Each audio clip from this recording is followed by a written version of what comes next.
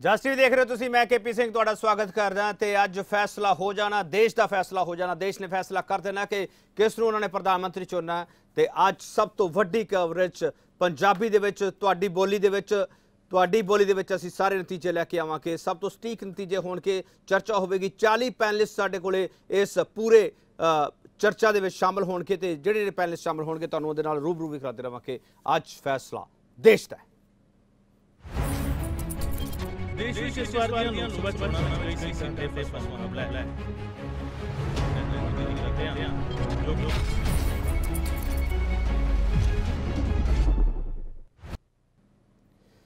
ਸਭ ਤੋਂ ਮਹੱਤਵਪੂਰਨ ਪਹਿਲਾਂ ਉਹ ਸਟੋਰੀ ਦੇਖਣੀ ਬਣਦੀ ਹੈ ਜਿਸ ਸਟੋਰੀ ਦੇ ਤਹਿਤ ਇਹ ਪੂਰਾ ਸੱਤ ਗੇੜ ਦੀਆਂ ਚੋਣਾਂ ਘੁੰਮਦੀਆਂ ਹੈਗੀਆਂ। ਪ੍ਰਧਾਨ ਦੇ ਪ੍ਰਧਾਨ ਮੰਤਰੀ ਨਰਿੰਦਰ ਮੋਦੀ ਇਸ ਤੋਂ ਇਲਾਵਾ ਹੋਰ ਕਿਹੜੇ ਕੀ ਕੈਂਡੀਡੇਟਸ ਹੈ ਕਿ ਆ ਦੇਸ਼ ਭਰ ਦੇ ਵਿੱਚ? ਪਹਿਲਾਂ ਉਹਦੀ ਰਿਪੋਰਟ ਦੇਖ ਲਈਏ ਉਸ ਤੋਂ ਬਾਅਦ ਸਾਡੇ ਕੋਲ ਮਹਿਮਾਨ ਵੀ ਹੋਣਗੇ ਉਹਨਾਂ ਨਾਲ ਚਰਚਾ ਕਰਾਂਗੇ। ਦੇਸ਼ ਵਿੱਚ ਇਸ ਵਾਰ ਦੀਆਂ ਲੋਕ ਸਭਾ ਚੋਣਾਂ ਵਿੱਚ ਕਈ ਸੀਟਾਂ ਤੇ ਫਸਵਾ ਮੁਕਾਬਲਾ ਹੈ। ਸਭ ਤੋਂ ਪਹਿਲਾਂ ਗੱਲ ਪ੍ਰਧਾਨ ਮੰਤਰੀ ਨਰਿੰਦਰ ਮੋਦੀ ਦੀ ਕਰਦੇ ਹਾਂ ਜੋ ਕਿ ਆਪਣੇ ਸਦੀ ਖੇਕਰ ਵਾਰਾਣਸੀ ਤੋਂ ਚੋਣ ਮੈਦਾਨ ਵਿੱਚ ਨੇ। ਮੋਦੀ ਨੂੰ ਟੱਕਰ ਦੇ ਰਹੇ ਨੇ ਕਾਂਗਰਸ ਦੇ ਅਜੇ ਰਾਏ ਅਮੇਠੀ ਸੀਟ ਤੇ ਇਸ ਵਾਰ ਕਾਂਗਰਸ ਪ੍ਰਧਾਨ ਰਾਹੁਲ ਗਾਂਧੀ ਤੇ ਬੀਜੇਪੀ ਦੀ ਸਮ੍ਰਿਤੀ ਇਰਾਨੀ ਇੱਕ ਵਾਰ ਤੋਂ ਆਮੋ ਸਾਹਮਣੇ ਨੇ। ਅਮੇਠੀ ਤੋਂ ਇਲਾਵਾ ਰਾਹੁਲ ਗਾਂਧੀ ਕੇਰਲ ਦੀ ਵਾਇਨਾਡ ਸੀਟ ਦੇ ਉਮੀਦਵਾਰ ਵੀ ਨੇ। ਤਾਂ ਉੱਥੇ ਹੀ ਰਾਏਬਰੇਲੀ ਵਿੱਚ ਰਾਹੁਲ ਦੀ ਮਾਂ ਤੇ ਯੂਪੀ ਦੀ ਚੇਅਰਪਰਸਨ ਸੋਨੀਆ ਗਾਂਧੀ ਦਿਨੇਸ਼ ਪ੍ਰਤਾਪ ਸਿੰਘ ਤੇ ਕਿਰਨ ਚੌਧਰੀ ਦੇ ਵਿਚਾਲੇ ਮੁਕਾਬਲਾ ਹੈ। ਭੋਪਾਲ ਸੀਟ ਵੀ ਹੌਟ ਸੀਟਾਂ ਵਿੱਚ ਗਿਣਤੀ ਕੀਤੀ ਜਾਂਦੀ ਹੈ। ਇੱਥੇ ਕਾਂਗਰਸ ਦੇ ਦਿਗਵਿਜੇ ਸਿੰਘ ਦਾ ਮੁਕਾਬਲਾ ਵਿਵਾਦਾਂ ਵਿੱਚ ਰਹੀ ਬੀਜੇਪੀ ਦੀ ਉਮੀਦਵਾਰ ਸਾਧਵੀ ਪ੍ਰਗਿਆ ਠਾਕੁਰ ਦੇ ਨਾਲ ਹੈ ਪਟਨਾ ਸਾਹਿਬ ਵਿੱਚ ਕੇਂਦਰੀ ਮੰਤਰੀ ਰਵੀ ਸ਼ੰਕਰ ਪ੍ਰਸਾਦ ਦਾ ਮੁਕਾਬਲਾ ਕਾਂਗਰਸ ਦੇ ਸ਼ਤਰੂਗਨ ਸਿਨਹਾ ਦੇ ਨਾਲ ਹੈ, ਜੋ ਕਿ ਹਾਲ ਹੀ ਵਿੱਚ ਬੀਜੇਪੀ ਛੱਡ ਕੇ ਕਾਂਗਰਸ ਵਿੱਚ ਸ਼ਾਮਿਲ ਹੋਏ ਸਨ। ਤਾਂ ਉੱਥੇ ਹੀ ਲਖਨਊ ਸੀਟ ਤੇ ਸ਼ਤਰੂਗਨ ਸਿਨਹਾ ਦੀ ਪਤਨੀ ਸਪਾ ਬਸਪਾ ਗਠਜੋੜ ਵੱਲੋਂ ਮੈਦਾਨ ਵਿੱਚ ਮੌਜੂਦ ਹੈ। ਪੂਨਮ ਸਿਨਹਾ ਦਾ ਮੁਕਾਬਲਾ ਕਾਂਗਰਸ ਦੇ ਆਚਾਰਿਆ ਪ੍ਰਮੋਦ ਕ੍ਰਿਸ਼ਨਨ ਤੇ ਕੇਂਦਰੀ ਗ੍ਰਹਿ ਮੰਤਰੀ ਰਾਜਨਾਥ ਸਿੰਘ ਦੇ ਨਾਲ ਹੈ।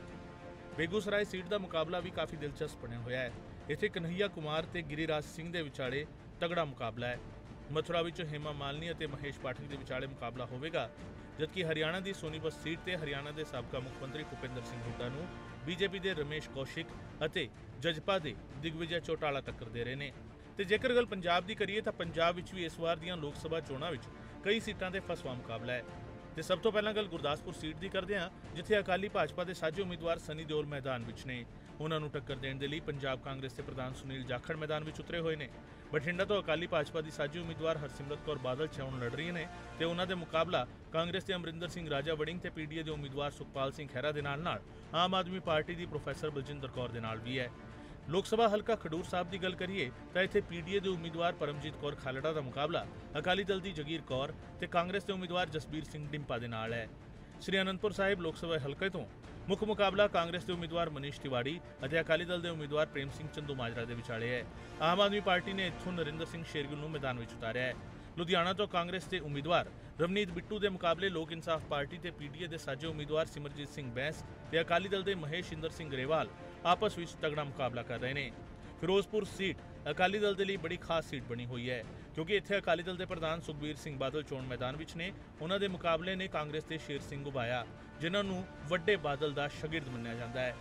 ਇਸ ਦੇ ਨਾਲ ਹੀ ਸੰਗਰੂਰ ਤੋਂ ਆਮ ਆਦਮੀ ਪਾਰਟੀ ਦੇ ਭਗਵੰਤ ਮਾਨ ਦਾ ਮੁਕਾਬਲਾ ਅਕਾਲੀ ਦਲ ਦੇ ਪਰਮਿੰਦਰ ਸਿੰਘ ਢੀਂਡਸਾ ਦੇ ਨਾਲ ਨਾਲ ਕਾਂਗਰਸ ਦੇ ਕੇਵਲ ਸਿੰਘ ਢਿੱਲੋਂ ਦੇ ਨਾਲ ਵੀ ਹੈ। ਸ਼ਾਹੀ ਸ਼ਹਿਰ ਪਟਿਆਲਾ ਦੀ ਗੱਲ ਕਰੀਏ ਤਾਂ ਇੱਥੋਂ ਇੱਕ ਵਾਰ ਫਿਰ ਤੋਂ ਕਾਂਗਰਸ ਦੇ ਉਮੀਦਵਾਰ ਪਰਨੀਤ ਕੌਰ ਨੂੰ ਡਾਕਟਰ ਧਰਮਵੀਰ ਗਾਂਧੀ ਟੱਕਰ ਦੇ ਰਹੇ ਨੇ। ਡਾਕਟਰ ਧਰਮਵੀਰ ਗਾਂਧੀ ਇੱਥੇ ਪੀਡੀਏ ਦੇ ਸਾਜੇ ਉਮੀਦਵਾਰ ਨੇ। ਸਾਰੇ ਆਗੂਆਂ ਵੱਲੋਂ ਜੰਮ ਕੇ ਪ੍ਰਚਾਰ ਕੀਤਾ ਗਿਆ ਸੀ ਤੇ ਹੁਣ ਸਾਰੇ ਹੀ ਆਪਣੀ ਜਿੱਤ ਦਾ ਦਾਅਵਾ ਵੀ ਕਰ ਰਹੇ ਨੇ। ਇੰਤਜ਼ਾਰ ਕੁਝ ਹੀ ਘੰਟਿਆਂ ਦਾ ਰਹਿ ਗਿਆ ਹੈ ਅਤੇ ਉਸ ਤੋਂ ਬਾਅਦ ਇਹ ਸਪਸ਼ਟ ਹੋ ਜਾਵੇਗਾ ਕਿ ਲੋਕਾਂ ਨੇ ਆਪਣਾ ਫਤਵਾ ਕਿਸ ਦੇ ਨਾਂ ਤੇ ਜਾਰੀ ਕੀਤਾ ਹੈ। News desk report just TV ਲੋਕ ਕਿਸ ਨੂੰ ਫਤਵਾ ਦੇਣਗੇ? ਸਵਾਲ ਬੜਾ ਮਹੱਤਵਪੂਰਨ ਹੈਗਾ ਤੇ ਇਸ ਸਵਾਲ ਤੇ ਅਸੀਂ ਚਰਚਾ ਕਰਨੀ ਹੈ, ਪੂਰਾ ਦਿਨ ਚਰਚਾ ਕਰਾਂਗੇ। ਅਮਰੀਕਾ ਵਾਲੇ ਸਾਨੂੰ ਰਾਤ ਭਰ ਦੇਖਣਗੇ ਤੇ ਦੇਸ਼ ਵਾਲੇ, ਭਾਰਤ ਵਾਲੇ ਸਾਨੂੰ ਦਿਨ ਭਰ ਦੇਖਣਗੇ। ਫੈਸਲਾ ਦੇਸ਼ ਦਾ ਹੈ ਤੇ ਖਾਸ ਪੈਨਲ ਸਾਡਾ ਮੌਜੂਦ ਹੈਗਾ, ਉਹਨਾਂ ਦਾ ਤਾਰਫ ਕਰਾ ਰਿਹਾ ਨਰੇਸ਼ ਅਰੋੜਾ ਜੀ ਭਾਰਤੀ ਜਨਤਾ ਪਾਰਟੀ ਦੇ ਨੁਮਾਇੰਦੇ ਆ। ਅਰੋੜਾ ਸਾਹਿਬ ਤੁਹਾਡਾ ਬਹੁਤ ਸਵਾਗਤ ਹੈ ਤੇ ਤੁਹਾਨੂੰ ਆਲ ਦਾ ਬੈਸਟ ਵੀ ਹੈ। ਵੈਸੇ ਤੁਸੀਂ ਐਗਜ਼ਿਟ ਪੋਲ ਦੇ ਮੁਤਾਬਕ ਹੀ ਚੱਲਦੇ ਪਏ ਹੋ। ਗਗਨਦੀਪ ਚੌਹਾਨ। ਚਲੋ ਦੇਖਦੇ ਹਾਂ ਕਿ ਕਿੰਨੀਆਂ ਕੰਮ ਹੁੰਦੀਆਂ ਜੀ। ਦੇਸ਼ ਦੇਸ਼ ਦੱਸੂਗਾ ਕਿ ਸ਼ੁਭ ਕਾਮਨਾਵਾਂ ਕਿੰਨੀਆਂ ਦੇ ਰਿਹਾ ਹੈਗਾ। ਗਗਨਦੀਪ ਚੌਹਾਨ ਮੇਰੇ ਸਾਥੀ ਮੇਰੇ ਨਾਲ ਹੈਗੇ। ਗਗਨਦੀਪ ਤੁਹਾਡਾ ਵੀ ਸਵਾਗਤ ਹੈ। ਬ੍ਰਿਗੇਡੀਅਰ ਕੁਲਦੀਪ ਸਿੰਘ ਕਾਲੋ ਇਹ ਡਿਫੈਂਸ ਦੇ ਜਾਣਕਾਰ ਲੰਬਾ ਤਜਰਬਾ ਹੈਗਾ। ਜੰਮੂ ਕਸ਼ਮੀਰ ਦੀਆਂ ਸਰਹੱਦਾਂ ਤੇ ਇਹਨਾਂ ਨੇ ਆਪਣੀ ਡਿਊਟੀ ਨਿਭਾਈ ਹੈ ਕੀ ਹੈ ਤੇ ਜਿਸ ਨਾਮ ਤੇ ਵੋਟ ਮੰਗੀ ਗਈ ਹੈ ਕਿ ਇਸ ਕਰਕੇ ਬ੍ਰਿਗੇਡੀਅਰ ਕੁਲਦੀਪ ਸਿੰਘ ਕਾਲੋ ਹਰਾਂ ਨੂੰ ਇੱਥੇ ਸੱਦਿਆ ਹੈਗਾ ਕਿ ਦੇਸ਼ ਦੀਆਂ ਸਰਹੱਦਾਂ ਦੀ ਰਾਖੀ ਕਰਨ ਵਾਲਿਆਂ ਦੇ ਨਾਂ ਤੇ ਰਾਜਨੀਤੀ ਕਿਉਂ ਹੋ ਰਹੀ ਹੈ? ਬ੍ਰਿਗੇਡੀਅਰ ਕੁਲਦੀਪ ਸਿੰਘ ਕਾਲੋ ਤੁਹਾਡਾ ਬਹੁਤ ਸਵਾਗਤ ਹੈ। ਪ੍ਰੋਫੈਸਰ ਮਨਜੀਤ ਸਿੰਘ, ਇਹ ਪੰਜਾਬ ਯੂਨੀਵਰਸਿਟੀ ਦੇ ਵਿੱਚ ਪ੍ਰੋਫੈਸਰ ਰਹੇ ਨੇ ਤੇ ਲੰਬਾ ਤਜਰਬਾ ਇਹਨਾਂ ਨੂੰ ਹੈਗਾ ਕਿ ਸਿਆਸਤ ਕਿਸ ਤਰੀਕੇ ਨਾਲ ਚੱਲਦੀ ਹੈਗੀ ਤੇ ਕਿਸ ਤਰੀਕੇ ਨਾਲ ਜੋੜ ਘਟਾਓ ਕਰਦੀ ਹੈ, ਇਸ ਲਈ ਪ੍ਰੋਫੈਸਰ ਮਨਜੀਤ ਸਿੰਘ ਹਰਾ ਨੂੰ ਸੱਦਿਆ ਹੈਗਾ। ਪ੍ਰੋਫੈਸਰ ਮਨਜੀਤ ਸਿੰਘ, ਤੁਹਾਡਾ ਵੀ ਬਹੁਤ ਸਵਾਗਤ ਹੈ। ਸਭ ਤੋਂ ਪਹਿਲਾ ਸਵਾਲ ਨਰੇਸ਼ ਰੋੜਾ ਜੀ, ਤੁਹਾਨੂੰ ਕਰਨਾ ਚਾਹੂੰਗਾ। ਰੋੜਾ ਸਾਹਿਬ ਚਿਹਰੇ ਤੇ ਮੁਸਕਰਾਹਟ ਹੈ ਪੂਰਾ ਦਿਨ ਰਹੂਗੀ ਅੱਜ? ਬਿਲਕੁਲ ਪੂਰਾ ਦਿਨ ਰਹੇਗੀ ਜੀ। ਪੂਰਾ 5 ਸਾਲ ਰਹੇਗੀ। ਸਾਨੂੰ ਉਮੀਦ ਹੈ ਐਗਜ਼ਿਟ ਪੋਲ ਦੀ ਗੱਲ ਨਹੀਂ ਕਰ ਰਹੇ। ਦੇਸ਼ ਦੇ ਚਿਹਰੇ ਤੇ ਮੁਸਕਰਾਹਟ ਆਊਗੀ ਕਿ ਨਹੀਂ? ਰੋੜਾ ਸਾਹਿਬ ਤੁਸੀਂ ਤਾਂ ਦੇ ਤੁਸੀਂ ਤਾਂ ਮੁਸਕਰਾ ਲੋਗੇ ਦੇਸ਼ ਦੇਸ਼ ਦੇ ਚਿਹਰੇ ਤੇ ਵੀ ਮੁਸਕਰਾਹਟ ਆਊਗੀ। ਮੈਂ ਉਹੀ ਗੱਲ ਕਹਿ ਰਿਹਾ ਸੀ ਐਗਜ਼ਿਟ ਪੋਲ ਨਹੀਂ। ਸਿਰਫ ਇਸ ਤੋਂ ਪਹਿਲਾਂ ਜਦੋਂ ਅਸੀਂ ਇਲੈਕਸ਼ਨ ਲੜੇ ਜਦੋਂ ਇਲੈਕਸ਼ਨ ਦੀ ਤਿਆਰੀ ਕਰ ਰਹੇ ਸੀ ਜਨਤਾ ਦਾ ਜਿਹੜਾ ਹੁੰਗਾਰਾ ਸਾਨੂੰ ਮਿਲ ਰਿਹਾ ਸੀਗਾ ਜਨਤਾ ਦਾ ਜਿਹੜਾ ਸਾਥ ਮਿਲ ਰਿਹਾ ਸੀ ਸਾਨੂੰ ਪੂਰੀ ਉਮੀਦ ਸੀ ਕਿ ਮੋਦੀ ਜੀ ਦੀ ਸੈਨਾ ਇਸ ਵਾਰ ਫਿਰ ਜਿੱਤੂਗੀ ਮੋਦੀ ਜੀ ਸੈਨਾ। ਸਰ ਅਸੀਂ ਮੋਦੀ ਜੀ ਦੀ ਸੈਨਾ। ਹੈ ਅਸੀਂ। ਮੋਦੀ ਜੀ ਦੀ ਸੈਨਾ। ਸਵੇਰੇ ਤੁਸੀਂ ਫਿਰ ਮੋਦੀ ਦੀ ਸੈਨਾ ਕਹਿੰਦੇ ਅਸੀਂ ਮੋਦੀ ਤੁਸੀਂ ਇਹ ਜੀ ਕਹੋ ਨਾ ਅਸੀਂ ਅਸੀਂ ਮੋਦੀ ਦੀ ਸੈਨਾ। ਅਸੀਂ ਮੋਦੀ ਹਾਂ, ਜੀ ਦੀ ਸੈਨਾ. ਤੁਸੀਂ ਮੇਰੀ ਗੱਲ ਨਹੀਂ ਸੁਣੀ ਨਾ ਪੂਰੀ ਸਰ। ਅਸੀਂ ਮੋਦੀ ਜੀ ਦੀ ਫੌਜ ਹੈ ਬੀਜੇਪੀ ਦੀ ਫੌਜ ਹੈ। ਸਾਨੂੰ ਵਿਸ਼ਵਾਸ ਸੀਗਾ ਕਿ ਸਾਡੀ ਫੌਜ ਦੁਬਾਰਾ ਜਿੱਤੇਗੀ ਜੋ ਵਾਅਦੇ ਸਰਕਾਰ ਨੇ ਕੀਤੇ ਸੀ ਉਹਨਾਂ ਚੋਂ ਕਾਫੀ ਪੂਰੇ ਕੀਤੇ ਹੈ ਤੇ ਜਨਤਾ ਸਾਨੂੰ ਆਪਣਾ ਆਸ਼ੀਰਵਾਦ ਦੁਬਾਰਾ ਦੇਗੀ ਪਰ ਜਿਹੜੇ ਕੁਲਦੀਪ ਸਿੰਘ ਗਾਲੋ ਇਹਨਾਂ ਨੇ ਜਿਹੜੇ ਸ਼ਬਦ ਵਰਤੇ ਹੈਗੇ ਇਹਨਾਂ ਤੇ ਇਤਰਾਜ਼ ਤਾਂ ਨਹੀਂ ਕੋਈ ਬਿਲਕੁਲ ਇਤਰਾਜ਼ ਹੈ ਕਿਉਂਕਿ ਇਹ ਦੇਸ਼ ਦੇ ਵਿੱਚ ਪਹਿਲੀ ਵਾਰੀ ਹੋਇਆ ਹੈ। ਫੌਜ ਤੇ ਮੈਦਾਨੇ ਜੰਗ 'ਚ ਜੰਗਾਂ ਲੜਦੀ ਹੈ ਔਰ ਜੰਗਾਂ ਜਿੱਤਦੀ ਆਈ ਹੈ ਮੇਰੇ ਸ਼ਬਦ ਪਹਿਲੀ ਵਾਰੀ ਹੋਇਆ। ਵਾਸਤੇ ਸੀਗੇ ਆਰਮੀ ਵਾਸਤੇ ਨਹੀਂ ਸੀਗੇ ਸ਼ਬਦ ਵਾਪਸ ਲੈ ਰਹੇ ਹੋ. ਤੁਸੀਂ ਵਾਪਸ ਲੈ ਮੈਂ- when you are ਮੈਂ- speaking. ਮੇਰੇ ਹਾਂ ਮੇਰੇ ਬੋਲੋ। ਉਦਾਂ ਪ੍ਰੈਜ਼ੈਂਟ ਕੀਤਾ ਜਾਵੇ ਜਿੱਦਾਂ ਮੈਂ ਕਹਿਆ ਇਹ ਇਹ ਹੁਣ ਪਹਿਲੀ ਵਾਰੀ ਹੋਇਆ ਜਦੋਂ ਕਿ ਇਸ ਲੋਕ ਸਭਾ ਦੇ ਵਿੱਚ ਕਿ ਫੌਜ ਨੂੰ ਇਹ ਚੋਣ ਦੰਗਲ ਦੇ ਵਿੱਚ ਕਸੇੜਿਆ ਗਿਆ। ਮੈਂ ਸਮਝਦਾ ਹਾਂ ਇਹਨਾਂ ਨੇ ਸ਼ੁਰੂਆਤ ਕੀਤੀ ਹੈ ਠੀਕ ਹੈ ਇਹਨਾਂ ਦਾ ਮਤਲਬ ਅਰੋੜਾ ਸਾਹਿਬ ਦਾ ਆਪਣੀ ਫੌਜ ਦੀ ਤਰਫ ਹੋ ਸਕਦਾ ਪਰ। ਯੂਪੀ ਦੇ ਚੀਫ ਮਿਨਿਸਟਰ ਨੇ ਬੜਾ ਸਪਸ਼ਟ ਤੌਰ ਤੇ ਜਿਹੜੇ ਕੱਲ ਕੀਤੇ ਬੜੀ ਚਰਚਾ ਹੋਈ ਮੈਂ ਉਹਦੇ ਚ ਨਹੀਂ ਜਾਣਾ ਚਾਹੁੰਦਾ ਉਹਦੇ ਕਰਕੇ ਇੱਕ ਦੇਸ਼ ਦੇ ਵਿੱਚ ਵੈਸੇ ਹੀ ਵੰਡੀਆਂ ਪਾਉਣ ਵਾਲਾ ਮਾਹੌਲ ਪੈਦਾ ਹੋ ਗਿਆ ਤੇ ਇਹਦੇ ਵਿੱਚ ਫੌਜ ਦੇ ਵਿੱਚ ਵੀ ਇਹਨਾਂ ਕਾਰਨਾਂ ਕਰਕੇ ਸਹੀ ਜਾਂ ਗਲਤ ਬਿਆਨਬਾਜ਼ੀ ਕਰਕੇ ਫੌਜ ਦੇ ਵਿੱਚ ਵੀ ਵੰਡੀਆਂ ਪਾਉਣ ਵਾਲਾ ਮਾਹੌਲ ਪੈਦਾ ਹੋ ਚੁੱਕਿਆ। ਪ੍ਰੋਫੈਸਰ ਮਨਜੀਤ ਸਿੰਘ ਮਜ਼ਾ ਆ ਰਿਹਾ ਅੱਜ? ਚਲੋ ਮਜ਼ਾ ਤੇ ਠੀਕ ਹੈ ਹੁਣ ਥੋੜੀ ਦੇਰ ਤੱਕ ਇੰਤਜ਼ਾਰ ਦੀਆਂ ਘੜੀਆਂ ਤੇ ਹੁਣ ਖਤਮ ਹੀ ਹੈ। ਪਰ ਜਿਹੜਾ ਦੇਸ਼ ਦੇ ਸਾਈਕੀ ਦਾ ਉਹਨਾਂ ਦੀ ਮਾਨਸਿਕਤਾ ਦਾ ਫੌਜੀਕਰਨ ਹੋ ਰਿਹਾ ਮੋਦੀ ਜੀ ਦੀ ਅਗਵਾਈ 'ਚ ਜਿਵੇਂ ਨਰੇਸ਼ ਜੀ ਕਹਿ ਹੀ ਰਹੇ ਹੈ, ਇਹ ਥੋੜਾ ਜਿਹਾ ਮੈਨੂੰ ਗੜਬੜ ਗੱਲ ਜ਼ਰੂਰ ਲੱਗਦੀ ਹੈ। ਇੱਕ ਗਾਂਧੀ ਦਾ ਦੇਸ਼ ਸ਼ਾਂਤਮਈ ਦੇਸ਼ ਹੈਗਾ ਆ, ਬੁੱਧ ਬੁੱਧ ਦਾ ਵੀ ਦੇਸ਼ ਹੈਗਾ, ਜਿੱਥੇ ਉਹਨਾਂ ਨੇ ਇੰਨਾ ਸ਼ਾਂਤੀ ਦਾ ਪ੍ਰਚਾਰ ਕੀਤਾ ਤੇ ਮੇਰਾ ਖਿਆਲ ਜ਼ਿਆਦਾ ਫੌਜੀ ਮਾਹੌਲ ਪੈਦਾ ਕਰਨਾ ਇਹ ਏਡੇ ਵੱਡੇ ਦੇਸ਼ ਲਈ ਕੋਈ ਬਹੁਤਾ ਠੀਕ ਨਹੀਂ ਹੈ। ਮੈਟਾਫਰ ਯੂਜ਼ ਕੀਤਾ। ਮੈਂ ਨਹੀਂ ਕਹਿੰਦਾ ਕਿ ਉਹਨਾਂ ਨੇ ਫੌਜ ਦੀ ਜਿਹੜੀ ਰੈਗੂਲਰ ਫੌਜ ਆ, ਉਹਦੀ ਗੱਲ ਕੀਤੀ ਨਰੇਸ਼ ਜੀ ਨੇ। ਅਸੀਂ ਮੋਦੀ ਜੀ ਦੀ ਫੌਜ। ਉਹਦਾ ਮਤਲਬ ਸਮਝੋ ਤੁਸੀਂ ਕੀ ਆ, ਬੜਾ ਸਾਫ਼ ਆ ਕਿ ਜੋ ਫੌਜ ਕਰਦੀ, ਉਹ ਅਸੀਂ ਕਰਾਂਗੇ। ਇਸ ਕਰਕੇ ਇਹਦਾ ਰਿਜ਼ਲਟ ਕੀ ਨਿਕਲਿਆ ਆ ਕਿ ਫਿਰੋਜ਼ਪੁਰ ਦੇ ਅੰਦਰ ਜਿਹੜੇ ਕੰਟੋਨਮੈਂਟ ਦੇ ਵਿੱਚ ਵੋਟਾਂ ਪਈਆਂ, ਚਾਰ ਪੋਲਿੰਗ ਬੂਥਾਂ ਤੇ ਇੱਕ ਵੋਟ ਨਹੀਂ ਪਈ। ਡਿਫੈਂਸ ਵੱਲੋਂ ਔਰ ਬਾਕੀ ਜਿਹੜੇ 12 ਸੀਗੇ ਉਹਦੇ ਚ 1.2% ਵੋਟਾਂ ਪਈਆਂ। ਆਲਮੋਸਟ ਬਾਈਕਾਟ ਕੀਤਾ ਹੈ। ਇਹ ਗੱਲਾਂ ਜਿਹੜੀਆਂ ਕਾਲੋ ਸਾਹਿਬ ਕਹਿ ਰਹੇ ਹੌਲੀ ਹੌਲੀ ਫੌਜ ਦੇ ਉੱਤੇ ਅਸਰ ਕਰ ਰਹੀਆਂ।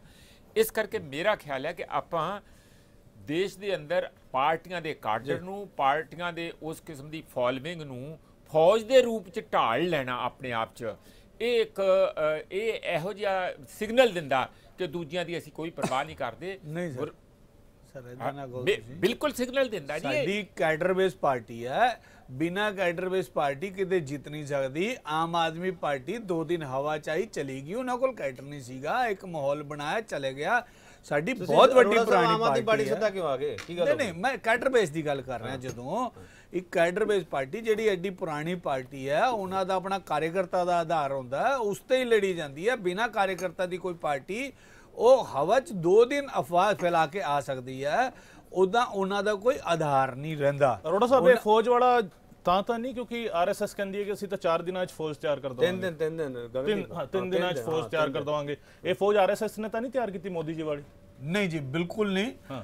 ਬੀਜੇਪੀ ਦਾ ਆਪਣਾ ਮੰਡਲ ਸਤਰ ਤੱਕ ਦਾ ਕਾਰਜਕਰਤਾ ਬੂਥ ਸਤਰ ਤੱਕ ਦਾ ਕਾਰਜਕਰਤਾ ਪੰਨਾ ਸਤਰ ਤੱਕ ਪੰਨਾ ਪ੍ਰਮੁੱਖ ਸਤਰ ਦਾ ਕਾਰਜਕਰਤਾ ਬੀਜੇਪੀ ਨੇ ਤਿਆਰ ਕੀਤਾ ਬੀਜੇਪੀ ਦੀ ਆਪਣੀ ਰਣਨੀਤੀ ਰਹੀ ਹੈ। ਉਹ ਠੀਕ ਹੈ ਕਿ ਆਰਐਸਐਸ ਦੇ ਸਾਡੇ ਕਾਰਜਕਰਤਾ ਅਸੀਂ ਮੈਂ ਵੀ ਆਰਐਸਐਸ ਤੋਂ ਆ ਮੈਨੂੰ ਉਸ ਚੀਜ਼ ਦਾ ਮਾਣ ਹੈ। ਰਾਜਨੀਤੀ ਤੇ ਰਣਨੀਤੀ 'ਚ ਕੁਝ ਫ਼ਰਕ ਸਮਝਦੇ ਹੋ ਰੋੜਾ ਸਾਹਿਬ? ਦੋਵਾਂ 'ਚ ਕੋਈ ਫ਼ਰਕ ਮੰਨਦੇ ਹੋ ਕਿ ਰਾਜਨੀਤੀ ਵੀ ਰਣਨੀਤੀ ਦੇ ਨਾਲ ਹੀ ਚੱਲਦੀ ਹੈ? ਰਣ ਅਲੱਗ ਹੈ ਰਾਜ ਅਲੱਗ ਹੈ? ਨਹੀਂ ਨਹੀਂ ਐਸਾ ਨਹੀਂ ਹੈ ਜੀ। ਦੇਖੋ ਰਣਨੀਤੀ ਹੋਏਗੀ ਤਾਂ ਹੀ ਰਾਜਨੀਤੀ ਕਰੋਗੇ ਨਾ ਸਰ। ਯਾਨੀ ਤੁਹਾਡੇ ਤੁਹਾਡੇ ਕੋਲ ਕੁਝ ਕੁਝ ਤੁਹਾਡੇ ਕੋਲ ਬੇਸ ਤਾਂ ਤਿਆਰ ਹੋਣਾ ਚਾਹੀਦਾ। ਕਿਤੇ ਨਾ ਕਿਤੇ ਉਹ ਰਣ ਵਾਲੀ ਸੋਚ ਜਿਹੜੀ ਹੈਗੀ ਉਹ ਰਹਿੰਦੀ ਰਹਿੰਦੀ ਹੈ ਭਾਵੇਂ ਜਮਹੂਰੀਅਤ ਦੀ ਵੀ ਗੱਲ ਹੋਵੇ। ਨਹੀਂ ਰਣਨੀਤੀ ਤੁਹਾਡੀ ਹੋਏਗੀ ਨਹੀਂ ਤਾਂ ਰਾਜਨੀਤੀ ਕਿੱਦਾਂ ਕਰੋਗੇ? ਹਵਾ 'ਚ ਕਰੋਗੇ? ਚਲੋ। ਤੁਹਾਡੇ ਕੋਲ ਕੋਈ ਬੇਸ ਹੀ ਨਹੀਂ ਹੋਏਗਾ ਕੋਈ ਸੋਚ ਹੀ ਨਹੀਂ ਹੋਏਗੀ ਹਰਦੀਪ। ਸਿੰਘ ਕਿੰਗਰਾ ਸਾਡੇ ਵਿੱਚ ਪਹੁੰਚ ਗਏ ਨੇ ਕਿੰਗਰਾ ਸਾਹਿਬ ਕਾਂਗਰਸ ਤੋਂ ਨੇ। ਕਿੰਗਰਾ ਸਾਹਿਬ ਤੁਹਾਡਾ ਬਹੁਤ ਸਵਾਗਤ ਹੈ। ਜਿਵੇਂ ਤੁਸੀਂ ਲੇਟ ਹੋ ਗਏ ਮਾਫ ਕਰਨਾ ਉਵੇਂ ਕਾਂਗਰਸ ਨਾਲ ਲੇਟ ਹੋ ਜਾਵੇ। ਕਿੰਗਰਾ ਸਾਹਿਬ। ਦੇਖੋ ਕੇਪੀ ਕਾਂਗਰਸ ਲੇਟ ਨਹੀਂ ਹੁੰਦੀ ਮੇਰੇ ਵੱਲੋਂ ਸਾਰਿਆਂ ਨੂੰ ਪਿਆਰ ਭਰੀ ਸਤਿ ਸ੍ਰੀ ਅਕਾਲ। ਮੈਂ ਬਹੁਤ ਦੂਰੋਂ ਤ- 350 ਕਿਲੋਮੀਟਰ ਫਰੀਦਕੋਟ ਤੋਂ ਆਇਆ ਮੈਂ ਤੇ ਇਸ ਕਰਕੇ ਥੋੜਾ ਬਹੁਤ ਲੇਟ ਹੋਈ ਕਿਲੋਮੀਟਰ। ਕਾਂਗਰਸ ਵੀ ਬੜੇ ਲੰਬੇ ਇੱਕ ਆ। ਉੱਥੇ ਮੀਂਹ ਨੇਰੀ ਵੀ ਚੱਲ ਪਈ ਸੀਗੀ ਦੋਵੇਂ ਗੱਲਾਂ ਉਹਨੇ ਮੈਨੂੰ late ਕਰ ਮੀਨੇਰੀ ਦਿੱਤਾ। ਕਹਿੰਦੇ ਉਸ ਗੱਲ ਵੀ ਆਈ ਸੀ ਉਹ ਮੋਦੀ ਸਾਹਿਬ ਆ ਗਏ ਮੈਂ ਉਸ ਗੱਲ ਮੀਨੇਰੀ ਦੀ ਮਾਫੀ ਕਈ ਉੱਡ ਜਾਣੇ ਇਸ ਨੇਰੀ ਦੇਖੀ ਜਾਇਓ। ਮੀਨੇਰੀ ਪਿਛਲੀ ਵਾਰੀ ਵੀ ਆਈ ਸੀ ਉਹ ਮੋਦੀ ਸਾਹਿਬ ਆਏ ਸੀ ਨਹੀਂ ਕੋਈ ਗੱਲ ਨਹੀਂ ਨੇਰੀ ਖਬਰ ਹੈ ਕਿਹਦੀ ਹੱਕ ਚ ਵਗਣੀ ਹੈ? ਤੇ ਕਿਹਨੂੰ ਉਡਾ ਕੇ ਲੈ ਜਾਣਾ ਨੇਰੀ ਨੇ ਇਹ ਤਾਂ ਪਤਾ ਲੱਗੇਗਾ ਸਮਾਂ ਹੋਰ ਘੰਟੇ ਬਾਅਦ। ਬੱਦਲ ਤਾਂ ਨਹੀਂ ਆ ਗਏ। ਹੋਰ ਘੰਟੇ ਬਾਅਦ ਲੱਗ ਜਾਏਗਾ ਬੱਦਲ ਤਾਂ ਨਹੀਂ ਆ ਗਏ ਕੋਈ ਐਡੀ। ਗੱਲ ਨਹੀਂ ਹੈਗੀ ਹੈ। ਠੀਕ ਹੈ ਜੰਗਾਂ ਦੇ ਵਿੱਚ ਬੰਦੇ ਹਾਰਦੇ ਜਿੱਤਦੇ ਰਹਿੰਦੇ ਆ ਕੋਈ ਐਡੀ ਗੱਲ ਨਹੀਂ ਹੈ। ਲੈਟ ਅਸ ਸੀ ਵਾਟ ਚਲੋ ਕਿੰਗਰਾ ਸਾਹਿਬ ਕਿਹੋ ਜੀ ਉਮੀਦ ਹੈਗੀ ਹੈ? ਵੈਸੇ ਸਾਰੇ ਕਹਿੰਦੇ ਸਾਨੂੰ ਉਮੀਦ ਬਹੁਤ ਜ਼ਿਆਦਾ ਹੈਗੀ ਹੈ ਪਰ ਐਗਜ਼ਿਟ ਪੋਲ ਹੈ ਤੁਹਾਡੀਆਂ ਉਮੀਦਾਂ ਤੇ ਖਰੇ ਨਹੀਂ ਉਤਰਦੇ। ਦੇਖੋ ਜੀ ਐਗਜ਼ਿਟ ਪੋਲ ਜਿਹੜਾ ਅਸੀਂ ਨਾ ਜੋਤਸ਼ੀਆਂ ਤੇ ਨਾ ਹੀ ਅਸੀਂ ਐਵੇਂ ਬਿਨਾਂ ਚਾਰ ਬੰਦਿਆਂ ਤੋਂ ਪੁੱਛ ਕੇ ਕਹਿ ਦਿੰਨੇ ਵੀ ਆਹ ਗੱਲ ਹੋਈ ਹੈ। ਕਦੇ ਐਗਜ਼ਿਟ ਪੋਲ ਨੇ ਆਸਟ੍ਰੇਲੀਆ 'ਚ ਕੀ ਕੀਤਾ? ਐਗਜ਼ਿਟ ਪੋਲ ਨੇ ਅਮਰੀਕਾ 'ਚ ਕੀ ਕੀਤਾ? ਐਗਜ਼ਿਟ ਪੋਲ ਨੇ ਪੰਜਾਬ 'ਚ ਕੀ ਕੀਤਾ ਸੀ? ਐਗਜ਼ਿਟ ਪੋਲ ਨੇ ਪਹਿਲਾਂ ਪਿਛਲੀ ਵਾਰੀ ਦਿੱਲੀ 'ਚ ਕੀ ਕੀਤਾ ਸੀ? ਇਸ ਕਰਕੇ ਐਗਜ਼ਿਟ ਪੋਲ ਜਿਹੜੇ ਆ ਇਹ ਤਾਂ ਤੁਹਾਡਾ ਟੀਆਰਪੀ ਵਧਾਉਣ ਵਾਸਤੇ ਇੱਕ ਸਾਧਨ ਹੈਗਾ it's a tool being used ਤਿੰਨ ਚਾਰ ਦਿਨ ਵਾਸਤੇ ਤਾਂ ਕਿ ਲੋਕੀ ਟੀਵੀ ਬਹੁਤ ਵੇਖਣ। ਹੋਰ। ਕੋਈ ਗੱਲ ਨਹੀਂ ਇਹਦਾ। ਇਹ ਮਨੋਰੰਜਨ ਤੋਂ ਵੀ ਉੱਤੇ ਹੈ ਕਿਉਂਕਿ ਇਹਦੇ 'ਚ ਬਿਜ਼ਨਸ ਇੰਟਰਸਟ ਹੈ। ਸੋ ਇਸ ਕਰਕੇ ਇਹ ਮਨੋਰੰਜਨ ਤੋਂ ਵੀ ਉੱਤੇ ਹੈ। ਇਹਦਾ ਕੋਈ ਮਾਇਨੇ ਨਹੀਂ ਰੱਖਦਾਗਾ ਸਟੈਟਿਸਟਿਕਲੀ ਔਰ psychologically these are not very well drafted questionnaire ਜਿਹਦੇ ਤੇ ਤੁਸੀਂ ਨਿਊਟਰਲਾਈਜ਼ ਕਰ ਸਕੋ ਬਾਇਸਡ ਓਪੀਨੀਅਨ ਨੂੰ। ਚਲੋ ਠੀਕ ਹੈ। ਸੋ ਇਸ ਕਰਕੇ ਇਹ ਇੱਕ ਲੋਕਾਂ ਨੂੰ ਪੁੱਛ ਪੁਛਾ ਕੇ ਗੱਲਾਂ ਕਰਦੇ ਹੋ ਤੁਸੀਂ। ਐਗਜ਼ਿਟ ਪੋਲ ਅਸੀਂ ਇਹਨੂੰ ਕਹੀਏ ਜਾਂ ਪੋਸਟ ਪੋਲ ਕਹੀਏ? ਕੀ ਕਹੀਏ ਅਸੀਂ?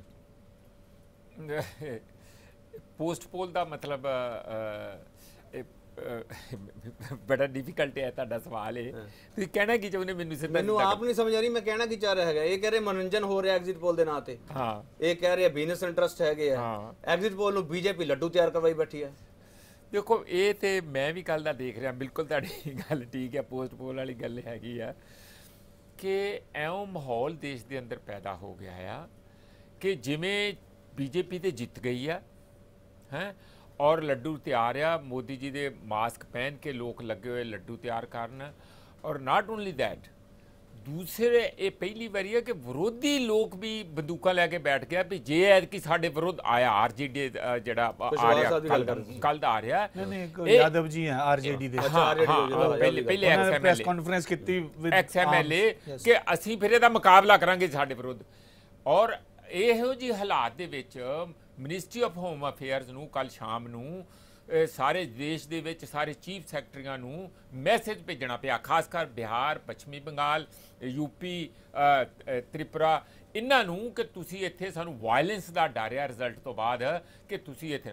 ਮੈਨੂੰ ਲੱਗਦਾ ਕਿ ਜਿਹੜਾ ਇੰਨੀ ਜ਼ਿਆਦਾ ਵੀ ਲੋਕਾਂ ਦਾ temperature exit poll is one of them ਜਿਨ੍ਹਾਂ ਨੇ ਇਸ ਗੱਲ ਦਾ ਮਾਹੌਲ ਪੈਦਾ ਕੀਤਾ, ਇੱਕ ਨੂੰ ਡਿਕਲੇਅਰ ਕਰਤਾ ਔਰ ਡਿਕਲੇਅਰ ਕਰਨ ਤੋਂ ਬਾਅਦ ਹੁਣ ਐਵਰੇਜ ਐਨਡੀਏ ਤੇ ਬੀਜੇਪੀ ਨੂੰ 306 ਸੀਟਾਂ ਆ ਰਹੀਆਂ 542 ਚ ਉਹ ਤੇ ਸਰਕਾਰ ਬਣਾਈ ਬੈਠੇ ਆ। ਹੁਣ ਜਿਹੜੇ ਬੰਦੇ ਮਾਨਸਿਕ ਤੌਰ ਤੇ ਸਾਰੇ ਕਾਡਰ ਨੂੰ ਤੁਸੀਂ ਕਹਿਤਾ, ਅਸੀਂ 300 ਪਲੱਸ ਲੈ ਰਹੇ ਹਾਂ ਜੀ, ਬਾਰ-ਬਾਰ ਕਿਹਾ ਜਾਂਦਾ। ਇਹਦਾ ਮਤਲਬ ਤੁਸੀਂ ਲੈ ਰਹੇ ਆ, ਹੁਣ ਜਾਂ ਤੇ ਲੀਡਰਾਂ ਨੂੰ ਇਹ ਬੋਲੋ, ਜਿਹੜੇ ਉਹਨਾਂ ਦੇ ਫਾਲੋਅਰ ਬੋਲਣ, ਤੁਸੀਂ ਝੂਠ ਬੋਲਦੇ ਆ। ਤੁਸੀਂ ਕਿਉਂ ਇੰਜ ਕਹਿੰਦੇ ਆ? ਉਹ ਤੇ ਕਹਿੰਦੇ ਨਹੀਂ, ਕਿਉਂਕਿ ਇਹ ਕਹਿੰਦੇ ਆ, ਕਿਉਂਕਿ ਅਸੀਂ ਜਿੱਤ ਚੁੱਕੇ ਆ। ਹੁਣ ਜੇ ਜਿੱਤ ਦਾ ਇਹਦਾ ਮਤਲਬ ਦੇਖੋ, ਇੱਕ ਤੇ ਇਹਦਾ ਕੇਪੀਜੀ ਸਿੰਘ ਬੜਾ ਸਾਫ਼ ਇਹਦਾ ਅਰਥ ਇਹ ਆ ਕਿ ਅਸੀਂ ਲੋਕਾਂ ਨੂੰ ਕੋਈ ਸਮਝਦੇ ਹੀ ਨਹੀਂ। ਲੋਕਾਂ ਦੇ ਵਰਡਕ ਨੂੰ ਕੋਈ ਸਮਝਦੇ ਨਹੀਂ। ਲੋਕਾਂ ਦੀ ਇੱਜ਼ਤ ਕਰਨਾ ਹੀ ਨਹੀਂ ਚਾਹੁੰਦੇ। ਜਦ ਉਹਨਾਂ ਦਾ ਵਰਡਿਕਟ ਜੇ ਬੰਦ ਹੈਗਾ ਤੇ ਤੁਸੀਂ ਕਿਉਂ ਇੰਨੇ ਜ਼ਿਆਦਾ ਆਪਣੇ ਆਪ ਨੂੰ ਜਸ਼ਨ ਜਿਹੜੇ ਪਹਿਲਾਂ ਹੀ ਮਨਾਈ ਜਾਂਦੇ ਆ ਕੁਝ ਤਿਆਰੀਆਂ ਹੋ ਰਹੀਆਂ ਬੜੇ ਬੜੇ ਜਿਹੜੇ ਆ ਪ੍ਰੈਸ ਕਾਨਫਰੰਸ ਦੀਆਂ ਤਿਆਰੀਆਂ ਹੋ ਸਮਝੀ ਸੇ ਕੌਨਫੀਡੈਂਸ ਕਹਿੰਦੇ ਸਾਨੂੰ ਕੌਨਫੀਡੈਂਸ ਨਹੀਂ ਹਰ ਪਾਰਟੀ ਨੂੰ ਕੌਨਫੀਡੈਂਸ ਹੈ ਜੀ। ਜਿਹੜੇ ਬਾਹਰ। ਧਰਨੇ ਤੇ ਹੀ ਬੈਠੇ ਆ ਮੈਂ ਮਾਫੀ ਚਾਹੂੰਗਾ ਮੈਂ ਬੜਾ ਮਾਣ ਕਰਦਾ ਮਨਜੀਤ ਸਿੰਘ ਜੀ ਦਾ। ਜਿਹੜੇ ਸਰ ਬਾਹਰ ਧਰਨੇ ਤੇ ਹੀ ਬੈਠੇ ਆ ਉਹ ਵੀ ਕੌਨਫੀਡੈਂਟ ਹੈ ਕਿ ਅਸੀਂ ਜਿੱਤ ਰਹੇ ਆ? ਨਹੀਂ ਇਹੀ ਉਹ ਉਹ ਤਾਂ ਹੀ ਧਰਨੇ ਤੇ ਹੀ ਬੈਠੇ ਆ। ਜਿਹੜੇ ਗਨ ਲੈ ਕੇ ਪ੍ਰੈਸ ਕਾਨਫਰੰਸ ਕਰ ਰਹੇ ਉਹ ਵੀ ਕੌਨਫੀਡੈਂਟ ਹੈ ਕਿ ਅਸੀਂ ਜਿੱਤੇ। ਬੈਠੇ ਆ। ਜਿਹੜੇ। ਕਹਿ ਰਹੇ ਅਸੀਂ ਖੂਨ ਦੀ ਨਦੀਆਂ ਬਹਾ ਦਾਂਗੇ ਉਹ ਵੀ ਕੌਨਫੀਡੈਂਟ ਹੈ ਕਿ ਅਸੀਂ ਜਿੱਤੇ ਬੈਠੇ ਬਿਲਕੁਲ ਆ ਨਰੇਸ਼ ਜੀ ਇਹ ਰੂਲਿੰਗ ਪਾਰਟੀ ਦਾ ਜਿਹੜੀ ਉਹਦਾ ਫਰਜ਼ ਬਣਦਾ ਕਿ ਇਹੋ ਜਿਹਾ ਮਾਹੌਲ ਦੇਸ਼ 'ਚ ਨਾ ਬਣੇ। ਜੇ ਉਹ ਆਪ ਹੀ ਸ਼ੁਰੂ ਕਰ ਦੂਗੇ ਇਹੋ ਜਿਹੇ ਮਾਹੌਲ ਤੇ ਬਾਕੀ ਦੇ ਤੇ ਕਰਨਗੇ ਐਸ ਕਰਕੇ ਐਸ ਕਰਕੇ। ਪਾਰਟੀ ਜੇ ਸਾਰੇ ਆਪਣੇ ਆਪ ਨੂੰ ਕਹਿਣ ਅਸੀਂ ਜਿੱਤੇ ਬੈਠੇ ਆ ਰੂਲਿੰਗ ਪਾਰਟੀ ਆਪਣਾ ਨੂੰ ਕਹਿ ਦਈਏ ਜਿੱਤੇ ਬੈਠੇ ਤਾਂ ਮਾੜਾ ਹੋ ਗਿਆ ਸਰ। ਬਿਲਕੁਲ ਨਹੀਂ ਕਹੋ ਇਹ। ਤੁਸੀਂ ਇਹ ਕਹੋਗੇ ਜੋ ਜੋ ਉਸ ਤਰੀਕ ਫੈਸਲਾ ਹੋਊਗਾ ਸੰਗਤਾਂ ਨੇ ਇੱਕ ਇੱਕ ਦਿਨ ਰਾਤ ਲਗਾਇਆ ਹੈ। ਰੋੜਾ ਸਾਹਿਬ ਰੋੜਾ ਸਾਹਿਬ ਰੋੜਾ ਸਾਹਿਬ ਰੋੜਾ ਸਾਹਿਬ। ਤੁਸੀਂ ਐਤਕੀ ਨਾਰਾ ਕੀਤਾ ਸੀ? ਆਪਕੀ ਵਾਰ 300 ਪਾਰ ਜਾਂ ਆਪਕੀ ਵਾਰ 400 ਪਾਰ? ਆਪਕੀ ਵਾਰ 300 ਪਾਰ। 300 ਪਾਰ। ਕਈ ਕਈ ਜਗ੍ਹਾ 400 ਪਾਰ ਵੀ ਕੁਝ ਕਾਰਜਕਰਤਾ ਬਾਕੀ 142 ਰਹਿ ਗਈਆਂ।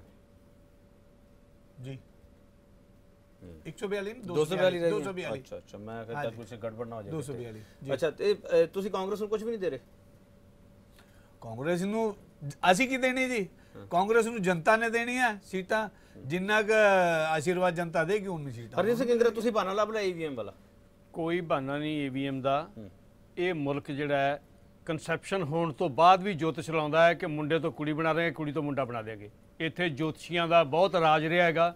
ਔਰ ਬਿਨਾਂ ਵਜ੍ਹਾ ਤੋਂ ਯੱਗ ਕਰਕੇ ਜੋਤਸ਼ੀ ਕਹਿੰਦੇ ਆ ਅਸੀਂ ਆਹ ਠੀਕ ਕਰ ਦਿਆਂਗੇ ਉਹ ਠੀਕ ਕਰ ਦਿਆਂਗੇ। ਪ੍ਰਗਿਆ ਕਹਿੰਦੀ ਹੈ ਸਾਧਵੀ ਕਿ ਮੈਂ ਸ਼ਰਾਫ ਦਿੱਤਾ ਸੀ ਉਹ ਆਈਪੀਐਸ ਅਫਸਰ ਮਰ ਗਿਆ। ਨਹੀਂ 6 ਗੇਟ ਚ ਕਿਹੋ ਜਿਹੇ ਮੁਲਕ ਚ ਰਹੀ ਜਾਂਦੇ ਆ ਅਸੀਂ? ਸਿੰਗਰਾ ਸਾਹਿਬ 6 ਗੇਟ ਚ ਇਸ ਤੁਹਾਨੂੰ ਕਿਉਂ ਇਸ ਯਾਦ ਆਈ? ਕਰਕੇ ਤੁਸੀਂ ਇਹ ਸੋਚੋ ਤੁਸੀਂ ਤੁਸੀਂ ਇਹਦੇ? ਤੁਸੀਂ ਤੁਹਾਡੇ ਟੀਵੀ ਦੇ ਉੱਤੇ ਐਡਵਰਟਾਈਜ਼ਮੈਂਟ ਆਉਂਦੀ ਹੈ। ਫਲਾਨਾ ਕਾਲੀ ਕਾਲੀ ਮੁੰਦਰੀ ਪਹਿਨੋ ਲਾਲ ਮੁੰਦਰੀ ਪਹਿਨੋ। ਮੈਂ? ਤੁਹਾਡੇ ਟੀਵੀ ਤੇ ਨਹੀਂ ਭਾਰਤ ਦੇ ਵਿੱਚ ਟੀਵੀਆਂ ਤੇ। ਜਿੱਥੇ ਕਾਲੀਆਂ ਤੇ ਲਾਲ ਮੁੰਦਰੀਆਂ ਕਾਲਾ ਜਾਦੂ ਦੀ ਐਡਵਰਟਾਈਜ਼ਮੈਂਟ ਟੀਵੀਆਂ ਦੇ ਉੱਤੇ ਹੁੰਦੀ ਹੈ। ਉਸ ਮੁਲਕ ਦੇ ਵਿੱਚ ਆ ਜਿਹੜਾ ਤੁਹਾਡਾ ਐਗਜ਼ਿਟ ਪੋਲ ਹੈ ਤਾਂ ਮਾਮੂਲੀ ਜੀ ਗੱਲ ਹੈ। ਇਹ ਤਾਂ ਸਰਕਾਰ ਨੂੰ ਚਾਹੀਦਾ ਬੰਦ ਕਰਨਾ ਇਹ। ਚੀਜ਼ਾਂ ਸਾਰੀਆਂ ਕਿੰਗਰਾ ਸਾਹਿਬ ਇਹਨਾਂ ਤੇ ਬੈਨ ਲੱਗਣਾ ਚਾਹੀਦਾ ਕਿੰਗਰਾ ਸਾਹਿਬ। ਇਹ ਲੋਕਾਂ ਨੂੰ ਗੁੰਮਰਾਹ ਕਰਦੀਆਂ ਕਿੰਗਰਾ ਸਾਹਿਬ। ਇਹ ਅਨਸਾਇੰਟਿਫਿਕ ਹੈ ਕਿੰਗਰਾ ਸਾਹਿਬ ਰਾਹੁਲ ਗਾਂਧੀ ਮੰਦਰਾਂ 'ਚ ਕਿਉਂ ਘੁੰਮ ਰਹੇ ਨੇ ਫਿਰ ਫਿਰ ਉਹੀ ਗੱਲ ਮੰਦਰ ਜਾਣਾ ਹੋਰ ਚੀਜ਼ ਹੈ ਜੀ ਹੂੰ। ਮੰਦਰ ਜਾਣਾ ਬਿਲਕੁਲ ਹੋਰ ਚੀਜ਼ ਹੈ ਕਾਲਾ ਜਾਦੂ ਹੋਰ ਚੀਜ਼ ਹੈ ਹੂੰ। ਮੰਦਰ ਦੀ ਆਸਥਾ ਹੈ ਗੁਰਦੁਆਰੇ ਦੀ ਆਸਥਾ ਹੈ ਲੇਕਿਨ ਕਾਲੇ ਜਾਦੂ ਦੀ ਕੋਈ ਆਸਥਾ ਨਹੀਂ ਹੈ ਕਿ ਮੈਂ ਮੁੰਡੇ ਤੋਂ ਕੁੜੀ ਬਣਾ ਦੂੰ ਕੁੜੀ ਤੋਂ ਮੁੰਡਾ ਬਣਾ ਦੂੰ BJP ਨੇ ਕਾਲਾ ਸਰਕਾਰ ਜਾਦੂ ਦਾ ਰੋਲ ਕਰਦੇ। ਬਣਦੇ ਨੇ ਚੀਜ਼ਾਂ ਨੂੰ BJP ਨੇ ਕਾਲਾ ਜਾਦੂ। ਸਰਕਾਰ ਗੁੰਮਰਾਹ ਕਰ ਰਹੀ ਹੈ ਸਰਕਾਰ ਚਾਹੁੰਦੀ ਹੈ ਕਿ ਲੋਕ। ਬੇਵਕੂਫ ਬਣੇ ਰਹਿਣ ਐਡ ਸਰਕਾਰ ਦੇ ਰਹੀ ਹੈ ਸਰ ਮੁੰਦਰੀਆਂ ਦੀ ਹੈ, ਰੋਕੋ ਉਹਨੂੰ ਤੁਸੀਂ ਐਡਵਰਟ ਲਾਓ ਤੇ ਬੈਨ ਲਾਓ। ਅਰੇ ਅੱਜ ਦੀ ਚੱਲੀ ਤੇ ਹੈ। ਬੈਨ ਨਹੀਂ ਲਾਈ। ਨਹੀਂ, ਨਹੀਂ, ਸਿਆਸਤ ਵਿੱਚ। ਤੁਸੀਂ ਤੁਸੀਂ ਤੁਸੀਂ ਤੁਸੀਂ ਜਹਾਜ਼ਾਂ ਦੇ ਜ਼ਮਾਨੇ 'ਚ ਗੱਡੇ ਤੇ ਚੜਾਈ ਜਾਂਦੇ ਲੋਕਾਂ ਨਹੀਂ ਨੂੰ ਲਿਖਤ ਤੇ ਵੀ ਨਹੀਂ ਲਾਈ। ਉਹ ਟੇਡੇ ਢੰਗ ਨਾਲ ਸਾਰਾ ਕੁਝ ਇਹ ਜਨਤਾ ਦੇਖਦੀ ਹੈ ਸਰ ਸਾਡੇ ਕੀ ਬਿਆਨ ਹੈ? ਜਨਤਾ ਵਾਸਤੇ? ਤੁਸੀਂ ਮੈਂ ਕੀ ਜਨਤਾ ਸੋਚ ਹੈ ਸਰ ਨਹੀਂ, ਅਸੀਂ ਸਾਡੀ ਸੋਚ ਬਿਲਕੁਲ ਠੀਕ ਹੈ। ਤੁਸੀਂ ਬੇਵਕੂਫ ਬਣਾ ਰਹੇ ਹੋ ਸਰਕਾਰ ਜਿਹੜੀ ਬੇਵਕੂਫ ਬਣਾ ਰਹੀ ਹੈ। ਸਿਆਸਤ ਵਿੱਚ ਕਾਲਾ ਜਾਦੂ ਤਾਂ ਨਹੀਂ ਹੋ ਰਿਹਾ। ਰਾਹੁਲ ਜੀ ਹੈ। ਜਿਹੜੇ ਕਹਿੰਦੇ ਸੀਗੇ ਮੁੰਡੇ ਕੁੜੀਆਂ ਛੇੜਨ ਮੰਦਰ ਜਾਂਦੇ ਹੁਣ ਉਹੀ ਮੰਦਰ ਜਾਂਦੇ ਆ ਸਰ। ਪ੍ਰਗਿਆ ਸਾਧਵੀ ਹੁਣ ਕਹਿੰਦੀ ਤੁਸੀਂ ਹੈ, ਉਹਨੂੰ ਜਸਟੀਫਾਈ ਕਰ ਰਹੇ ਹੋ ਪ੍ਰਗਿਆ ਜਨਾਬ। ਸਾਧਵੀ ਕਹਿੰਦੀ ਹੈ, ਮੈਂ ਹੁਣ ਸ਼ਰਾਬ ਤੁਸੀਂ- ਦਿੱਤਾ, ਹੁਣ ਬੜਾ ਅਫਸਰ ਵੱਡਾ ਬਣ ਵੀਰ। ਜਸਟੀਫਾਈ ਕਰ ਰਹੇ ਹੋ ਤਾਂ-। ਤੁਸੀਂ ਉਹ ਉਹਨੂੰ ਟਿਕਟਾਂ ਦੇਈ ਨਤੀਜੇ- ਜਾਂਦੇ ਹੋ। ਪ੍ਰਗਿਆ ਸਾਧਵੀ ਕਹਿੰਦੀ ਮੈਂ ਸ਼ਰਾਬ ਦਿੱਤਾ ਕਹਿੰਦੀ ਆਈਪੀਐਸ ਅਫਸਰ ਮਰ ਗਿਆ। ਤੇ ਤੂੰ ਸ਼ਰਾਬ ਦੇ ਪਾਕਿਸਤਾਨੀ ਮਰ ਜੇ। ਜੇ ਤੇਰੇ ਤਾਂ- ਜਿੰਨੀ ਤਾਕਤ ਹੈਗੀ ਹੈ ਤੇ ਕਿਉਂ ਬੇਵਕੂਫ ਬਣਾਉਣੇ ਲੋਕਾਂ ਨੂੰ? ਕਿੰਗਰਾ ਸਾਹਿਬ ਰੋੜਾ ਸਾਹਿਬ ਹਾਏ ਨਤੀਜੇ ਆਉਣੇ ਆ ਆਪਾਂ ਪਹਿਲਾਂ ਸਵੇਰੇ ਸਵੇਰੇ ਬਹਿਸ ਨਤੀਜੇ ਨਹੀਂ ਤੁਸੀਂ ਸਾਰਾ ਮੁਲਕ ਬੇਵਕੂਫ ਨਹੀਂ ਤੁਸੀਂ। ਨਤੀਜੇ ਤਾਂ ਆ ਲੈਣ ਦੋ ਨਾ ਕੁਝ ਪਤਾ ਤੁਸੀਂ ਲੱਗ ਜਹਾਜ਼ਾਂ ਜਾਊਗਾ ਦੇ ਜ਼ਮਾਨੇ 'ਚ ਗੱਡੀਆਂ 'ਤੇ ਚੜਾਦੇ ਲੋਕ। ਹਾਂਜੀ। ਮੈਂ ਆ ਰਿਹਾ ਵਾਪਸ ਆ ਰਿਹਾ ਥੋੜਾ ਰਿਲੈਕਸ ਹੋ ਜਾਓ। ਸਿੱਧੀ ਠੀਕ ਗੱਲ ਕਰੋ, ਇਹਨਾਂ ਗੁੱਸਾ ਨਾ ਕਰੋ ਪਿੱਛੇ ਰਹਿ ਗਏ ਦੇਸ਼ ਹਜੇ ਹਾਂ, ਪੂਰਾ ਠੀਕ ਦਿਨ ਬਹਿਣਾ। ਠੀਕ ਹੈ, ਲੋਕਾਂ ਠੀਕ ਨੇ ਕਿਉਂ ਪੰਜਾਬ ਅੱਗੇ ਚੱਲ ਗਿਆ। ਇੰਨਾ ਸਰ। ਗੁੱਸਾ ਨਾ ਸ਼ਰਾਬ ਦੇ ਕੇ ਬੰਦੇ ਮਾਰੀ ਜਾਂਦੇ ਹੋ। ਕੂਲ ਰਹੋ, ਬੰਦ ਕਰੋ ਫਿਰ ਫਿਰ ਸ਼ਰਾਬਾਂ ਦੀਆਂ ਫੈਕਟਰੀਆਂ ਠੀਕ ਹੈ, ਲਗਾਓ। ਕਿੰਗਰਾ ਸਾਹਿਬ ਕੂਲ ਰਹੋ ਫਿਰ ਬੰਦੂਕਾਂ ਦੀਆਂ ਫੈਕਟਰੀਆਂ ਕਿਉਂ ਲਾਉਂਦੇ ਹੋ? ਕਿਉਂ ਮਿਸਾਈਲ ਬਣਾਉਂਦੇ ਹੋ? ਪ੍ਰਗਿਆ ਸਾਧਵੀ ਨੂੰ ਕਹੋ ਕਿ ਉਹ ਸਭ ਸ਼ਰਾਬ ਦੇਵੇ ਤੇ ਸੈਟਲਾਈਟ ਡਿੱਗੂਗਾ। ਕਿੰਗਰਾ ਸਾਹਿਬ ਕਿੰਗਰਾ ਸਾਹਿਬ ਉਹਨੇ ਕਿਹੜਾ ਮਿਸਾਈਲ ਮੈਂ ਆ ਰਿਹਾ ਆ ਰਿਹਾ ਆ ਰਿਹਾ ਵੀ ਕਿੰਗਰਾ ਸਾਹਿਬ ਵਾਪਸ ਆ ਰਿਹਾ। ਅਰੋੜਾ ਸਾਹਿਬ ਜੀ। ਇਹ ਜਿਹੜਾ ਵਾਰ-ਵਾਰ ਇਹ ਸਵਾਲ ਤਾਂ ਹੋਰ ਤਰੀਕੇ ਨਾਲ ਪੁੱਛ ਰਿਹਾ ਪਰ ਸਵਾਲ ਬੜਾ ਸਿੰਪਲ ਹੈਗਾ। ਸਾਧਵੀ ਪ੍ਰਗਿਆ ਠਾਕਰ ਨੂੰ ਟਿਕਟ ਦੇਣ ਦੀ ਜ਼ਰੂਰਤ ਕਿਉਂ ਪਈ ਇਹ ਪਾਰਟੀ ਦਾ ਆਪਣਾ ਵਿਚਾਰ ਸੀਗਾ ਕੈਂਡੀਡੇਟ ਅਗਰ ਹੋ ਸਕਦੇ ਤੇ ਉਹਦੇ ਚ ਇਤਰਾਜ਼ ਵੀ ਕੀ ਹੈ ਦੱਸੋ। ਇਤਰਾਜ਼ ਇਹ ਹੈ ਮੁਲਜ਼ਮ ਆ ਉਹ ਮੁਲਜ਼ਮ ਕੋਈ ਨਹੀਂ ਹੈ ਜੇ ਉਹਨਾਂ ਤੇ ਕੋਈ ਸਾਬਤ ਹੋ ਗਿਆ ਹੁੰਦਾ ਤਾਂ ਉਹਨਾਂ ਨੂੰ ਟਿਕਟ ਨਾ ਦਿੱਤੀ ਜਾਂਦੀ। ਸਾਬਿਤ ਹੁੰਦਾ ਤਾਂ ਉਹ ਮੁਜਰਮ ਹੁੰਦੇ ਬਸ ਬਿਲਕੁਲ ਠੀਕ ਹੈ ਜੀ ਮੁਲਜ਼ਮ ਤਾਂ ਹੈਗੇ ਜਦ ਤੱਕ ਸਾਬਿਤ ਨਹੀਂ ਹੋਇਆ ਮੁਲਜ਼ਮ ਤਾਂ ਹੈਗੇ। ਐਦਾਂ ਹੈ ਜੇ ਸਾਡੇ ਕਾਨੂੰਨ 'ਚ ਇਹ ਹੈਗਾ ਕਿ ਉਹ ਜਦ ਤੱਕ ਮੁਜਰਮ ਨਹੀਂ ਹੈਗੇ ਤਾਂ ਤੱਕ ਭਾਜੀ ਉਹਨਾਂ ਨੂੰ ਟਿਕਟ ਦਿੱਤੀ ਜਾ ਸਕਦੀ ਦੇ ਹੈ। ਉਹਨਾਂ ਨੂੰ ਟਿਕਟ ਦਿੱਤੀ ਹੈ। ਮੁਲਜ਼ਮਾਂ ਨੂੰ ਦੇ ਸਕਦੇ ਹੈ? ਜੇ ਉਹਨਾਂ ਤੇ ਸਾਬਿਤ ਹੋ ਗਿਆ ਤਾਂ ਉਹਨਾਂ ਨੂੰ ਟਿਕਟ ਨਹੀਂ ਦਿੱਤੀ ਜਾਂਦੀ ਨਾ। ਹੁਣ ਸਾਬਿਤ ਨਹੀਂ ਹੋਇਆ ਨਾ। ਹੁਣ ਤਾਂ ਸਾਬਿਤ ਦਿਗਵਿਜੇ ਤੇ ਹੋਇਆ ਕਿ ਉਹਨਾਂ ਨੇ ਕੀ ਕੁਝ ਕੀਤਾ। ਹੋਰ ਅਫਸਰਾਂ ਤੇ ਹੋਇਆ ਉਹਨਾਂ ਨੇ ਕੀ ਕੀਤਾ ਤੇ ਉਹਨਾਂ ਨੂੰ ਹੁਣ ਜਦ ਤੱਕ ਇਹ ਸਾਰੇ ਇਲਜ਼ਾਮ ਚੱਲਣਗੇ ਤਾਂ ਤੱਕ ਕਿਸੇ ਨੂੰ ਉਹ ਨਹੀਂ ਕੀਤਾ ਜਾ ਸਕਦਾ ਕਾਲੇ। ਜਾਦੂ ਨਾਲ ਟਿਕਟ ਲਈ ਹੋਣੀ ਹੈ ਜੀ। ਸਰਾਫ ਨਾਲ ਬੰਦਾ ਮਾਰ ਦਿੰਦੇ ਆ ਇਹ। ਸਿਆਸੀ ਨੈਤਿਕ ਹੈ ਪ੍ਰਗਿਆ। ਤੁਸੀਂ ਮੰਦਰਾਂ 'ਚ ਜਾ ਕੇ ਤੁਸੀਂ? ਤੁਸੀਂ ਮੰਦਰਾਂ 'ਚ ਜਾ ਕੇ ਕਰ ਲਿਓ ਸਰ। ਤੁਸੀਂ ਮੰਦਰਾਂ 'ਚ ਜਾ। ਕੇ ਕਰ ਜੇ ਲਿਓ। ਬੰਬ ਚਲਾਉਣ ਦੀ ਕੀ ਲੋੜ ਸੀ ਜੇ ਮੰਦਰਾਂ 'ਚ ਜਾ ਕੇ ਕਰ। ਲਿਓ ਇੱਕ ਮਿੰਟ ਇੱਕ ਮਿੰਟ ਆ ਰਿਹਾ।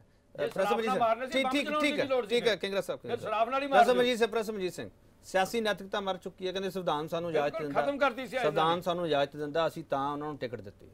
ਅ, ਦੇਖੋ ਬਾਕੀ ਗੱਲਾਂ ਤੇ ਜਿਹੜੀ ਜਿਹੜੀ ਕਨਸਟੀਟਿਊਸ਼ਨ ਵਾਲੀ ਤੇ ਗੱਲ ਮੈਂ ਕੀ ਕਹਿਣੀ ਆ ਉਹ ਤੇ ਇਹਨਾਂ ਦੇ ਜਿਹੜੇ ਐਮਪੀ ਆ ਉਹ ਕਹੀ ਜਾਂਦੇ ਆ ਜਿਹੜਾ ਆਨੰਦ ਕੁਮਾਰ ਹੈਗੜੇ ਨੇ ਕਿਹਾ ਕਿ ਸ- ਸਾਡੀ ਜਿਹੜੀ ਕੋਸ਼ਿਸ਼ ਆ ਕਿ ਉਹ ਛੇਤੀ ਤੋਂ ਛੇਤੀ ਮਨੂ ਸਮ੍ਰਿਤੀ ਸਾਡਾ ਕਨਸਟੀਟਿਊਸ਼ਨ ਹੋਵੇ।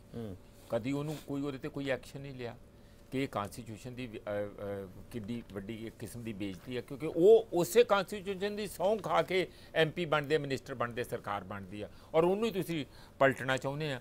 ਮਤਲਬ ਇਹੋ ਜਿਹਾ ਜਿਹੜਾ ਸਾਖੀ ਮਹਾਰਾਜ ਵਾਂਗੂ ਕਹਿਣਾ ਕਿ ਆਖਰੀ ਚੋਣਾ ਇਹ ਜਿਹੜੀਆਂ ਸਾਰੇ ਦੇਸ਼ ਦੇ ਅੰਦਰ ਮਾਹੌਲ ਇੱਕ ਕਿਸਮ ਦੀ ਡਰ ਵਾਲਾ ਜਾਂ ਅਨਸਰਟਨਟੀ ਜਿਹੜਾ ਕਿ ਕੀ ਹੋਊ ਦੇਸ਼ ਦਾ ਕੀ ਬਣੂ ਭਵਿੱਖ ਕੀ ਬਣੂ ਇਹ ਕੁਝ ਕੁ ਬੰਦਿਆਂ ਨੇ ਉੱਚ ਪ੍ਰਗਿਆ ਦਾ ਵੀ ਇੱਕ ਆਪਣਾ ਰੋਲ ਆ। ਇਸੇ ਕਰਕੇ ਤੁਹਾਡਾ ਇਹ ਸਵਾਲ ਠੀਕ ਸੀ ਕਿ ਜੇ ਉਹਨੂੰ ਨਾ ਇਸ ਵਾਰੀ ਟਿਕਟ ਦਿੰਦੇ ਤੇ ਕਿਹੜੇ ਕਿਤੇ ਬਹੁਤ 300 ਤੋਂ ਅ, 299 ਰਹਿ ਜਾਂਦੀਆਂ ਜਿਹੜੀਆਂ ਸੀਗੀਆਂ ਜੇ ਉਹਨੇ ਬਿਲਕੁਲ ਹੀ ਚਲੋ ਮੰਨਦੇ ਹੋ ਬੜੀ। ਮਿਹਰਬਾਨੀ ਸਰ ਤੁਹਾਡੀ ਕਿ ਤੁਸੀਂ ਸਾਨੂੰ ਸਰਕਾਰ ਬਣਾਉਂਦੇ ਰਹੋ। ਤੁਹਾਡੀ ਭਾਸ਼ਾ ਤੁਹਾਡੀ ਜਿਹੜੀ ਮਿਹਰਬਾਨੀ। ਮੈਂ ਕਿਤੇ ਨਾ ਜੋਤਿਸ਼ ਲਾਇਆ ਪਰ ਕੁਝ ਹੋਰ ਪੜ ਲੈਂਦੇ ਜਨਾਬ ਤੁਸੀਂ ਤਾਂ ਜੋਤਿਸ਼ ਦੇ ਮਗਰ ਪੈ ਗਏ ਇਹਦੇ ਨਾਲੋਂ ਵੀ ਇਹਦੇ ਨਾਲੋਂ ਪੜ੍ਹ ਵੀ ਲੈਂਦੇ ਸਰ। ਕੇਪੀ ਸਿੰਘ।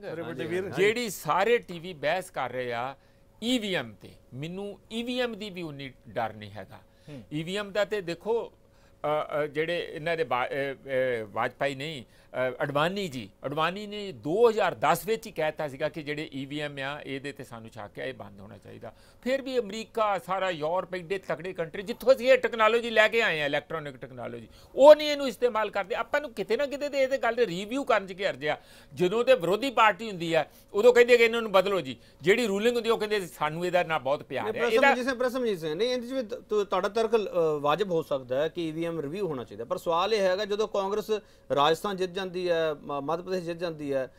ਛੱਤੀਸਗੜ੍ਹ ਜਿੱਤ ਜਾਂਦੀ ਹੈ ਜਾਂ ਹੋਰ ਸਟੇਟਸ ਵਿੱਚ ਜਿੱਤਦੀ ਹੈ ਜਿੱਥੇ ਕਾਂਗਰਸ ਸਰਕਾਰ ਹੈਗੀ ਹੈ ਪੰਜਾਬ ਵਿੱਚ ਜਿੱਤਦੀ ਹੈਗੀ ਹੈ ਉਦੋਂ ਈਵੀਐਮ ਦਾ ਰੋਲਾ ਕਿਉਂ ਨਹੀਂ ਪੈਂਦਾਗਾ ਫਿਰ? ਨਹੀਂ ਨਹੀਂ ਨਹੀਂ ਇਹ ਜਿੱਤਣ ਦੀ ਗੱਲ ਨਹੀਂ ਹੈ ਉਦੋਂ ਪਹਿਲਾਂ ਉਹਨਾਂ ਨੇ ਪਿਛਲੀ ਸਵਾਲ ਹੈ ਨਾ ਵਾਰੀ ਜਿਵੇਂ ਸੂਟ ਕਰਦਾ ਪ੍ਰਸਮਜੀਤ ਸਿੰਘ ਜਿਵੇਂ ਸੂਟ ਕਰਦਾ ਉਵੇਂ ਅਸੀਂ ਬੋਲੀ ਜਾਂਦੇ ਹਾਂ 2014 ਚ ਵੀ ਇਸ ਗੱਲ ਦਾ ਰੌਲਾ ਪਿਆ ਸੀਗਾ। ਕਿਉਂ ਕਿਉਂ ਰਿਪਰੈਜ਼ੈਂਟ ਹਾਰਨ ਤੋਂ ਬਾਅਦ ਪਿਆ ਸੀ ਸਰ। ਹਰ ਵਾਰੀ ਪੈਂਦਾ ਆ। ਜੀ ਹਾਰਨ ਤੋਂ ਬਾਅਦ ਪਿਆ ਹਾਂ ਨਹੀਂ। ਨਹੀਂ ਹਾਰਨ ਤੋਂ ਬਾਅਦ ਹੀ ਪਵੇ ਜਾਂ ਪਹਿਲਾਂ ਪਵੇ। ਮੇਰਾ ਖਿਆਲ ਮੇਰਾ ਖਿਆਲ ਸਾਰੀਆਂ ਪਾਰਟੀਆਂ ਨੂੰ ਇਹ ਨਹੀਂ ਸੋਚਣ ਦੀ ਲੋੜ। ਹੈ ਪਰ ਜਿਹੜੀ ਸਭ ਤੋਂ ਖਤਰੇ ਵਾਲੀ ਗੱਲ ਹੈ ਕੇਪੀ ਸਿੰਘ ਉਹ ਇਹ ਹੈ ਕਿ ਇਲੈਕਸ਼ਨ ਕਮਿਸ਼ਨ ਨੂੰ ਹੀ ਸਵਾਲੀਆ ਚਿੰਨ੍ਹ 'ਚ ਲੈ ਆਉਣਾ ਉਹਦੇ ਤੇ ਭਰੋਸੇ ਦਾ ਇੱਕ ਬਹੁਤ ਹੀ ਥੱਲੇ ਪੱਧਰ ਆ ਜਾਣਾ। ਹੁਣ ਤੁਸੀਂ ਮੈਨੂੰ ਦੱਸ ਦਿਓ ਜੇ ਪਰਚੀਆਂ ਵਾਲਾ ਆਪਾਂ ਕਰਦੇ ਨੇ ਈਵੀਐਮ ਹਟਾ ਦਿਓ। ਪਰ ਜੇ ਇਹ ਹੋ ਜਵੇ ਕਿ ਇਹ ਇਹ ਜਿਹੜੇ ਸਟਰੋਂਗ ਰੂਮ ਚੋਂ ਪੋਲਿੰਗ ਸਟੇਸ਼ਨ ਜਿੱਥੇ ਕਾਊਂਟਿੰਗ ਜ ਹੋਣੀਆਂ ਹੋਣੇ ਜਿੱਥੇ ਕਾਊਂਟਿੰਗ ਜਗ੍ਹਾ ਤੇ ਜਾਣ ਤੇ ਇਹ ਸ਼ੱਕ ਪੈਦਾ ਹੋ ਜਾਏ ਕਿ ਰਾਜ ਹੀ ਬਕਸੇ ਬਦਲ ਦੇਣਗੇ ਜੀ। ਪਿੱਛੇ ਗੱਡੀਆਂ ਲੱਗੀਆਂ ਹੋਈਆਂ ਉਹਨਾਂ ਟਰੱਕਾਂ ਦੇ। ਔਰ ਜਿੱਥੇ ਪੋਲਿੰਗ ਜਿੱਥੇ ਹੁੰਦੀ ਆ ਉੱਥੋਂ ਜਦੋਂ ਸਟਰੋਂਗ ਰੂਮ ਚ ਲਿਜਾਣੀ ਹੁੰਦੀ ਹੈ ਉੱਥੇ ਵੀ ਗੱਡੀਆਂ ਲੱਗੀਆਂ ਕੈਂਡੀਡੇਟਾਂ ਜਿਹੜੇ ਵਿਰੋਧੀ ਪਾਰਟੀਆਂ ਦੇ ਕੈਂਡੀਡੇਟਾਂ ਦੀਆਂ ਕਿ ਕਿਤੇ ਰਾਹ 'ਚ ਹੀ ਨਾ ਸਟਰੋਂਗ ਰੂਮ ਤੋਂ ਜਾਣ ਤੋਂ ਬਾਅਦ ਬਕਸੇ ਬਦਲੇ ਜਾਣ। ਜੇ ਇੱਥੇ ਤੱਕ ਬੇਵਿਸ਼ਵਾਸੀ ਹੋ ਜੂਗੀ ਉਹ ਈਵੀਐਮ ਆ ਜਾਂ ਤੁਸੀਂ ਪਰਚੀਆਂ ਵਾਲੇ ਬਕਸੇ ਆ ਬੇਵਿਸ਼ਵਾਸੀ ਕੌਣ ਕਰ ਰਿਹਾ ਤੇ ਕੌਣ ਫੈਲਾ ਰਿਹਾ? ਹੈ ਬਿਲਕੁਲ ਬਿਲਕੁਲ ਇਲੈਕਸ਼ਨ ਕਮਿਸ਼ਨਰ ਸਭ ਤੋਂ ਪਹਿਲਾਂ ਅਡਵਾਨੀ ਸਾਹਿਬ ਨੇ ਫੈਲਾਈ ਨਹੀਂ ਨਹੀਂ ਨਹੀਂ ਨਹੀਂ ਨਹੀਂ ਤੁਸੀਂ ਮੇਰੇ ਨਾਲ ਪਿਆਰ ਨਾਲ ਅਡਵਾਨੀ ਜੀ ਨੇ ਫੈਲਾਈ ਇੱਕ ਵਾਰੀ ਗੱਲ ਸੁਣ ਲਓ। ਜੀ, ਜੀ, ਤੁਸੀਂ ਜੀ। ਜਵਾਬ ਦਿਓ। ਇਹ ਫੈਲਾ ਰਿਹਾ ਖੁਦ Sunil Arora election commissioner of India ਜਿਹੜਾ chief commissioner chief election commissioner ਉਹ ਫੈਲਾ ਰਹੇ। ਕਿਵੇਂ? ਜਦੋਂ ਤੁਸੀਂ ਇੱਕੋ ਜਿਹੇ ਕੇਸਾਂ ਦੇ ਉੱਤੇ ਬਾਕੀ ਵੱਡੇ ਵੱਡੇ ਲੀਡਰਾਂ ਨੂੰ ਇਨਕਲੂਡਿੰਗ ਯੋਗੀ ਅਦਿੱਤਿਆਨਾਥ ਉਹਨਾਂ ਨੂੰ ਘਰ ਬਿਠਾਉਂਦੇ ਆ ਤੇ ਅਮਿਤ ਸ਼ਾਹ ਔਰ ਪ੍ਰਧਾਨ ਮੰਤਰੀ ਮੋਦੀ ਜੀ ਨੂੰ ਉਸੇ ਹੀ ਕੇਸ ਦੇ ਵਿੱਚ ਕਿਉਂ ਨਹੀਂ ਘਰ ਬਿਠਾਇਆ ਗਿਆ ਬਈ? ਭਾਵੇਂ ਅੱਧਾ ਘੰਟਾ ਹੀ ਬਿਠਾਉਂਦੇ ਭਾਵੇਂ ਇੱਕ ਹੀ ਘੰਟਾ ਬਿਠਾਉਂਦੇ ਨੋਸ਼ਨਲੀ ਹੁੰਦਾ। ਪਰ ਇੱਥੋਂ ਲੋਕਾਂ ਨੂੰ ਲੱਗਾ ਕਿ ਇੱਕ ਪੱਖਪਾਤ ਆ ਜਦੋਂ ਇਹ ਵਿਸ਼ਵਾਸ ਘਟ ਜਾਣ। ਲਵਾਸਾ ਰੋਜ਼ ਇੱਕ ਮਿੰਟ EVM ਤੇ ਕੇਸ ਕੇਸ ਤੇ ਬੜਾ ਡਿਫਰੈਂਟ ਮੈਂ ਖੁਦ ਭੁਗਤ ਭੁਗਤ ਰਿਹਾ ਇਸ ਕੇਸ ਦਾ। ਮੈਨੂੰ ਮੈਨੂੰ। ਮੈਨੂੰ ਮੈਨੂੰ ਉਹਨਾਂ ਕੇ ਉਸ ਕੇਸ ਤੇ ਸੇਮ ਕੇਸ ਦੇ ਉੱਪਰ ਮੈਨੂੰ ਨੋਟਿਸ ਆ ਗਏ। ਪਰ ਜੇ ਆਪਾਂ ਕਹੀਏ ਮਧੂ ਬੰਸਲ ਨੂੰ ਉਸੇ ਕੇਸ ਤੇ ਉਸੇ। ਕੇਸ ਤੇ ਨਹੀਂ ਗਿਆ ਠੀਕ ਹੈ ਇਹ ਕੇਸ ਕੇਸ ਲਵਾਸਾ- ਕਰਦਾ ਪਰ EVM sir- EVM sir, sir ਬੜਾ ਫ਼ਰਕ ਹੈ। ਈਵੀਐਮ ਤੇ ਅਸੀਂ ਸੁਪਰੀਮ ਕੋਰਟ ਨੂੰ ਵੀ ਚੈਲੰਜ ਕਰ ਰਹੇ ਹਾਂ ਸਰ ਇੱਕ ਮਿੰਟ ਮੈਨੂੰ ਗੱਲ ਖਤਮ ਕਰ ਦਿਓ ਜਰੂਰ ਜੀ ਸਰ, ਜਵਾਬ ਜੀ ਸਰ। ਤਿੰਨ ਮੈਂਬਰਾਂ ਦਾ ਇਲੈਕਸ਼ਨ ਕਮਿਸ਼ਨ ਸ਼ੋਕ ਲਵਾਸਾ ਰੋਜ਼ ਬਿਆਨ ਦੇ ਰਿਹਾ ਵੀ ਕੀ ਹਰਜਿਆ ਜੇ ਤੁਸੀਂ ਮੇਰਾ ਜਿਹੜਾ ਡਿਸੈਂਟਿੰਗ ਨੋਟ ਹੈ ਉਹ ਤੁਸੀਂ ਨਾਲ ਪਾ ਦਿਓ ਕਹਿੰਦੇ ਨਹੀਂ ਦਿੱਤਾ ਜਾਣਾ ਇਸ ਕਰਕੇ ਜਿਹੜਾ ਅਖੀਰ ਦੇ ਵਿੱਚ ਲਾਸਟ ਗੱਲ ਜਿਹੜੀ ਬਾਈਆਂ ਪਾਰਟੀਆਂ ਨੇ ਇਹ ਕਿਹਾ ਕਿ ਤੁਸੀਂ ਇੱਕ 5% ਈਵੀਐਮ ਦੇ ਉੱਤੇ ਜਿਹੜੀਆਂ ਕਾਊਂਟਿੰਗ ਕਰਨੀਆਂ ਉਹ ਕਿਉਂ ਰੱਖੀ ਹੈ ਇਸ ਕਰਕੇ ਕਿ ਘੱਟੋ ਘੱਟ ਇਹ ਲੱਗ ਜੇ ਕਿ ਫੇਅਰ ਗੇਮ ਆ। ਇਹਦਾ ਮਤਲਬ ਸੀ 5% ਜੇ ਸਿੰਪਲ ਰੈਂਡਮ ਸੈਂਪਲ ਔਰ ਸੈਂਪਲ ਨੂੰ ਤੁਸੀਂ ਪਹਿਲਾਂ ਪ੍ਰੂਵ ਕਰੋ ਕਿ ਇਹ ਫੇਅਰ ਆ। ਤੁਸੀਂ ਸੈਂਪਲ ਨੂੰ ਤਾਂ ਛੱਡਤਾ ਜਿਹੜਾ ਸੈਂਪ ਤੁਸੀਂ ਜਦੋਂ ਚੀਜ਼ ਵੀ ਮਾਰਕੀਟ ਚ ਸਰ ਛੱਡਿਆ, ਉਹ ਕੋਰਟ ਨੇ ਨਾ ਨਾ। ਨਾ ਨਾ ਨਾ ਨਾ ਨਾ ਨਾ ਨਾ ਨਾ ਨਹੀਂ, ਨਹੀਂ, ਇਲੈਕਸ਼ਨ ਦੇਖੋ, ਕਮਿਸ਼ਨ ਨੇ ਗੱਲ- ਫੈਸਲਾ ਕੀਤਾ। ਹਾਂ। ਬਾਅਦ ਵਿੱਚ ਬਾਅਦ ਚ ਕਾਊਂਟਿੰਗ ਕਰਨ ਦਾ ਉਹੀ ਹੈ ਨਾ, ਦੇਖੋ। ਇਲੈਕਸ਼ਨ ਕਮਿਸ਼ਨ ਨੇ ਫੈਸਲਾ ਕੀਤਾ ਕਿ ਅਖੀਰ ਚ ਕਾਊਂਟ ਹੋਊਗੀ। ਇਹ ਤੇ ਬਿਲਕੁਲ ਹੀ ਰਿਵਰਸਲ ਕਰਦਾ ਆ। ਇਹ ਤੇ ਬਿਲਕੁਲ ਹੀ ਪ- ਜੜ ਦੇਖੋ ਜੜੋ ਇੱਕ ਗੱਲ ਸੁਣੋ ਵਿਸ਼ਵਾਸ ਵੀਵੀਪੈਟ ਨੂੰ- ਸ਼ੁਰੂ ਕਿੰਨੇ ਕੀਤੀ? ਸਰ ਵਿਸ਼ਵਾਸ ਨੂੰ ਵੀਵੀ ਜੜੋ ਪੈਟ ਖਾੜ ਸਰ, ਦਿੱਤਾ ਹੈ ਮਨਜੀਤ ਜੀ ਬਿਲਕੁਲ ਵੀਵੀ ਖਤਮ ਪੈਟ ਕਰਤਾ। ਸ਼ੁਰੂ ਕਿੰਨੇ ਕੀਤੀ? ਅੱਜ ਜੇ ਮੈਚ ਕਰਨ ਕਿੰਨੇ ਦੀ ਗੱਲ ਕੀਤੀ ਹੈ ਹੋ ਜੀ? ਰਹੀ ਕਿੰਨੇ ਕੀਤੀ ਹੈ? ਸਰ, ਅਰੋੜਾ ਸਾਹਿਬ ਉਸੇ ਕਿੰਨੇ ਕੀਤੀ election ਹੈ? की ਅਰੋੜਾ ਸਾਹਿਬ ਕਿੰਨੇ election ਕੀਤੀ ਹੈ? ਉਸੇ election ਅਰੋੜਾ ਸਾਹਿਬ ਕਿੰਨੇ ਕੀਤੀ ਹੈ? ਇਲੈਕਸ਼ਨ ਵੀਵੀਪੈਟ ਕਮਿਸ਼ਨ ਕਿੰਨੇ ਨੇ ਸ਼ੁਰੂ ਸ਼ੁਰੂ ਕੀਤੀ ਕੀਤੀ ਹੈ? ਇਲੈਕਸ਼ਨ ਕਮਿਸ਼ਨ ਅਰੋੜਾ ਨੇ ਸ਼ੁਰੂ ਸਾਹਿਬ ਕੀਤੀ ਅਰੋੜਾ ਹੈ। ਸਾਹਿਬ ਵੀਵੀਪੈਟ ਸ਼ੁਰੂ ਕਿੰਨੇ ਕੀਤੀ ਹੈ? ਇਲੈਕਸ਼ਨ ਕਮਿਸ਼ਨ ਨੇ ਸ਼ੁਰੂ ਲੈ ਕੀਤੀ ਤੇ ਹੈ। ਤੁਸੀਂ ਫਿਰ ਕ੍ਰੈਡਿਟ ਆਪ ਕੋ ਲਈ ਜਾਂਦੇ ਹੋ। ਮੈਂ ਕਿੱਥੇ ਗਿਆ? ਪਿਛਲੀ ਚੋਣਾਂ ਚ ਵੀਵੀਪੈਟ ਨਹੀਂ, ਲੱਗ ਗਈ ਇਲੈਕਸ਼ਨ ਕਮਿਸ਼ਨ ਸ਼ਾਇਦ। ਇਲੈਕਸ਼ਨ ਕਮਿਸ਼ਨ ਹੈ, ਤੇ ਇਲੈਕਸ਼ਨ ਕਮਿਸ਼ਨ ਤੇ ਇਹਨਾਂ ਨੇ ਸਵਾਲੀਆ ਕੀਤਾ ਹੈ। ਮੈਂ ਉਹਦਾ ਜਵਾਬ ਦੇ ਰਿਹਾ ਕਿ ਉਸੇ ਇੱਕ ਇਲੈਕਸ਼ਨ ਕਮਿਸ਼ਨ ਨੇ ਵੀਵੀਪੈਟ ਸ਼ੁਰੂ ਕੀਤੀ ਹੈ। ਅੱਜ ਇਸ ਕੀਤੀ ਵੀਵੀਪੈਟ ਨਹੀਂ ਹੈ ਕਰਵਾਈ ਹੈ ਰੌਲਾ ਪਾ ਕੇ। ਕੀ ਗੱਲ ਕਰਦੇ ਤਾਂ ਹੈ। ਹਾਂ, ਪੂਰਾ ਜ਼ੋਰ ਦੇ ਕੇ ਕਰਵਾਈ ਕੀਤੀ ਤਾਂ ਹੈ ਨਾ ਸਰ। ਹਾਂ। ਗੱਲ ਤਾਂ ਮੰਨੀ ਗਈ ਹੈ ਨਾ। ਤੁਸੀਂ ਕਹਿੰਦੇ ਵਿਪਕਸ਼ ਦੀ ਗੱਲ ਹੀ ਨਹੀਂ ਮੰਨੀ ਜਾ ਰਹੀ ਉੱਤੇ ਸੁਣਦਾ ਰਹੇ ਕਰਵਾਈ ਜਾਣਾ ਤੇ ਅਰੋੜਾ ਕੰਮ ਜੀ, ਹੋਣਾ। ਨਹੀਂ, ਨਹੀਂ, ਬੜਾ ਐਦਾਂ ਨਹੀਂ ਜੀ। ਅਰੋੜਾ ਜੀ ਇਲੈਕਸ਼ਨ। ਕਮਿਸ਼ਨ ਇੱਕ ਸੰਸਥਾਨ ਹੈ। ਸੰਸਥਾ ਸੰਸਥਾਨ ਸੁਣੋ। ਉਸ ਸੰਸਥਾ ਨੂੰ ਅਲੱਗ-ਅਲੱਗ ਸਮੇਂ ਤੇ ਅਲੱਗ-ਅਲੱਗ ਬੰਦਿਆਂ ਨੇ ਮੈਨ ਕੀਤਾ ਹੈ। ਤੁਸੀਂ ਟੀਐਨ ਸੈਸ਼ਨ ਤੋਂ ਪਹਿਲਾਂ ਕਿਸੇ ਇਲੈਕਸ਼ਨ ਕਮਿਸ਼ਨਰ ਦਾ ਨਾਮ ਲੈ ਸਕਦੇ ਹੋ? ਜਾਣਦੇ ਤੱਕ ਨਹੀਂ ਸੀ ਲੋਕ ਕੌਣ ਹੈ ਇਲੈਕਸ਼ਨ ਕਮਿਸ਼ਨਰ ਟੀਐਨ ਸੈਸ਼ਨ ਨੇ ਮਸ਼ਹੂਰ ਕੀਤਾ। ਉਸ ਤਰ੍ਹਾਂ ਟੀਐਨ ਸੈਸ਼ਨ ਵੀ ਆ ਗਿਆ ਸੁਨੀਲ ਅਰੋੜਾ ਵੀ ਆ ਗਿਆ ਮੇਰਾ ਬੈਚਮੇਟ ਹੈ। That's a different story Sunil Arora ਵੀ ਅਸ਼ੋਕ ਲਵਾਸਾ ਤੇ ਸੁਨੀਲ ਅਰੋੜਾ ਦੋਨੇ ਬੈਚਮੇਟ ਹੈ। ਲੇਕਿਨ ਲੇਕਿਨ ਲੇਕਿਨ ਪੋਲਸ ਦਾ ਪਾਰਟ ਹੈ ਚਲੋ ਇਹ ਅਰਜੀਤ ਸਿੰਘ ਇਸ ਕਰਕੇ ਸੰਸਥਾ ਦੇ ਵਿੱਚ individual ਹੁੰਦੇ ਆ। ਕਿਗਰਾ ਸਾਹਿਬ ਤੁਸੀਂ ਲਵਾਸਾ ਸਾਹਿਬ ਨੂੰ ਜ਼ਿਆਦਾ ਜੈਨੂਨ ਮੰਨਦੇ ਹੋ ਜਾਂ ਅਰੋੜਾ. ਦੇਖੋ ਜੀ ਡਿਸੈਂਟ ਜਿਹਦਾ ਹੁੰਦਾ ਨਾ ਉਹਨੂੰ ਸੈਟੀਸਫਾਈ ਕਰਨਾ ਹੁੰਦਾ ਹੈਗਾ ਜਿਹੜਾ ਬੰਦਾ ਨਾਰਾਜ਼ ਹੈ ਮਨਾਉਣਾ ਉਹਨੂੰ ਹੁੰਦਾ ਨਾਲ ਹੈ। ਹੋ? ਹਾਂਜੀ ਡਿਸੈਂਟ ਵਾਲੇ ਦੇ ਨਾਲ ਹੋ? ਦੇਖੋ ਜੀ ਡਿਸੈਂਟ ਜਿਹਦਾ ਵੀ ਡਿਸੈਂਟ ਹੁੰਦਾ ਉਹਦਾ ਕਾਰਨ ਤਾਂ ਦੇਖੋ ਉਹ ਡਿਸੈਂਟ ਲਿਖ ਦਿਓ ਮੈਂ ਕਹਿੰਦਾ ਜੀ ਮੈਨੂੰ ਆ ਚੀਜ਼ ਕਿਗਰਾ ਸਾਹਿਬ ਮੈਂ- ਕਿਹਾ ਨਹੀਂ, ਮੈਂ ਕਹਿੰਦਾ ਜੀ। ਤੁਹਾਡੀ ਚਾਹ ਮਿੱਠਾ ਘੱਟ ਸਵਾਲਿਆ ਹੈ ਕਰੋ ਨਾ ਕਿਗਰਾ ਸਾਹਿਬ ਸੁਣੋ। ਤੁਸੀਂ ਕਹਿ ਰਹੇ ਹੋ ਕਿ ਤੁਹਾਡੇ ਬੈਚਮੇਟ ਰਹੇ ਉਹ। ਜੇ ਬੈਚਮੇਟ ਰਹੇ ਆ ਤੁਹਾਨੂੰ ਪਤਾ ਹੋਊਗਾ ਕਿ ਕਿਹੜਾ ਜ਼ਿਆਦਾ ਜੈਨੂਨ ਹੈਗਾ। ਦੇਖੋ ਜੀ ਜ਼ਿਆਦਾ ਹਾਲਾਤ ਦੇਖੋ? ਮੈਂ ਦੱਸਦਾ ਤੁਹਾਨੂੰ 35 36 ਸਾਲ ਦੇ ਵਿੱਚ ਬੰਦਾ ਬਦਲ ਜਾਂਦਾ ਹੈ। ਦੂਜੀ ਗੱਲ ਇਹ ਆ ਵੀ ਆਹ ਚਾਹ ਦੇ ਕੱਪ ਆ ਗਏ। ਮੈਂ ਕਹਿੰਦਾ ਚਾਹ 'ਚ ਮਿੱਠਾ ਘੱਟ ਤੁਸੀਂ ਲਿਖ ਦਿਓ ਕਾਗਜ਼ ਤੇ ਮਿੱਠਾ ਘੱਟ ਕਿੰਗਰਾ ਕਹਿੰਦਾ। ਖਤਮ ਗੱਲ ਤੁਹਾਡਾ ਕੀ ਇਤਰਾਜ਼ ਹੈ? ਤੁਸੀਂ ਕਹਿੰਦੇ ਨਹੀਂ ਜੀ ਮਿੱਠਾ ਪੂਰਾ ਹੈਗਾ ਚਾਹ ਦਾ ਕੰਮ ਚਾਹੀਦਾ ਤੁਸੀਂ ਚਾਹ ਦੇ ਕੱਪ ਦੀ ਚਰਚਾ ਹੋਣੀ ਹੁਣ ਫਿਰ ਦੁਬਾਰਾ। ਨਹੀਂ ਤੁਸੀਂ ਤੁਸੀਂ ਕਿਉਂ ਨਹੀਂ ਲਿਖਦੇ ਡਿਸੈਂਟਿੰਗ ਚਲੋ ਮੈਂ ਇੱਕ ਛੋਟਾ break- ਨੁਕਸਾਨ ਕੀ ਹੈ? Let it be a part of ਦਾ ਸਾਡੇ ਹਿਸਟਰੀ ਦਰਸ਼ਕ ਚਾਹ ਪੀ ਲੈਣਗੇ ਇੱਕ ਛੋਟਾ ਬ੍ਰੇਕ ਲੈ No, no, Break let ਤੋਂ- it be a part of the ਠੀਕ- ਆ ਰਿਹਾ Dissenting note. ਬ੍ਰੇਕ ਤੋਂ ਬਾਅਦ ਵਾਪਸ ਆਵਾਂਗੇ ਚਰਚਾ ਐਵੇਂ ਜਾਰੀ ਰਹੇਗੀ। ਮੈਂ ਪਹਿਲਾਂ ਵੀ ਤੁਹਾਨੂੰ ਕਿਹਾ ਸੀਗਾ ਤੁਹਾਡੀ ਆਪਣੀ ਬੋਲੀ ਦੇ ਵਿੱਚ ਸਭ ਤੋਂ ਵੱਡੀ ਚਰਚਾ ਅਸੀਂ ਕਰ ਰਹੇ ਹਾਂ। ਇਸ ਚਰਚਾ ਦੇ ਵਿੱਚ ਤੁਹਾਨੂੰ ਅ, ਉਹ ਹਫੜਾ ਦਫੜੀ ਨਹੀਂ ਅਸੀਂ ਦਿਖਾਉਣੀ ਹੈਗੀ, ਜਿਹੜੀ ਆਮ ਤੌਰ ਤੇ ਤੁਸੀਂ ਦੇਖਦੇ ਪਏ ਹੈ ਕਿ ਅਸੀਂ ਤੁਹਾਨੂੰ ਐਕਚੁਅਲ ਪਿਕਚਰ ਦਿਖਾਣੀ ਹੈ ਕੀ ਹੈ।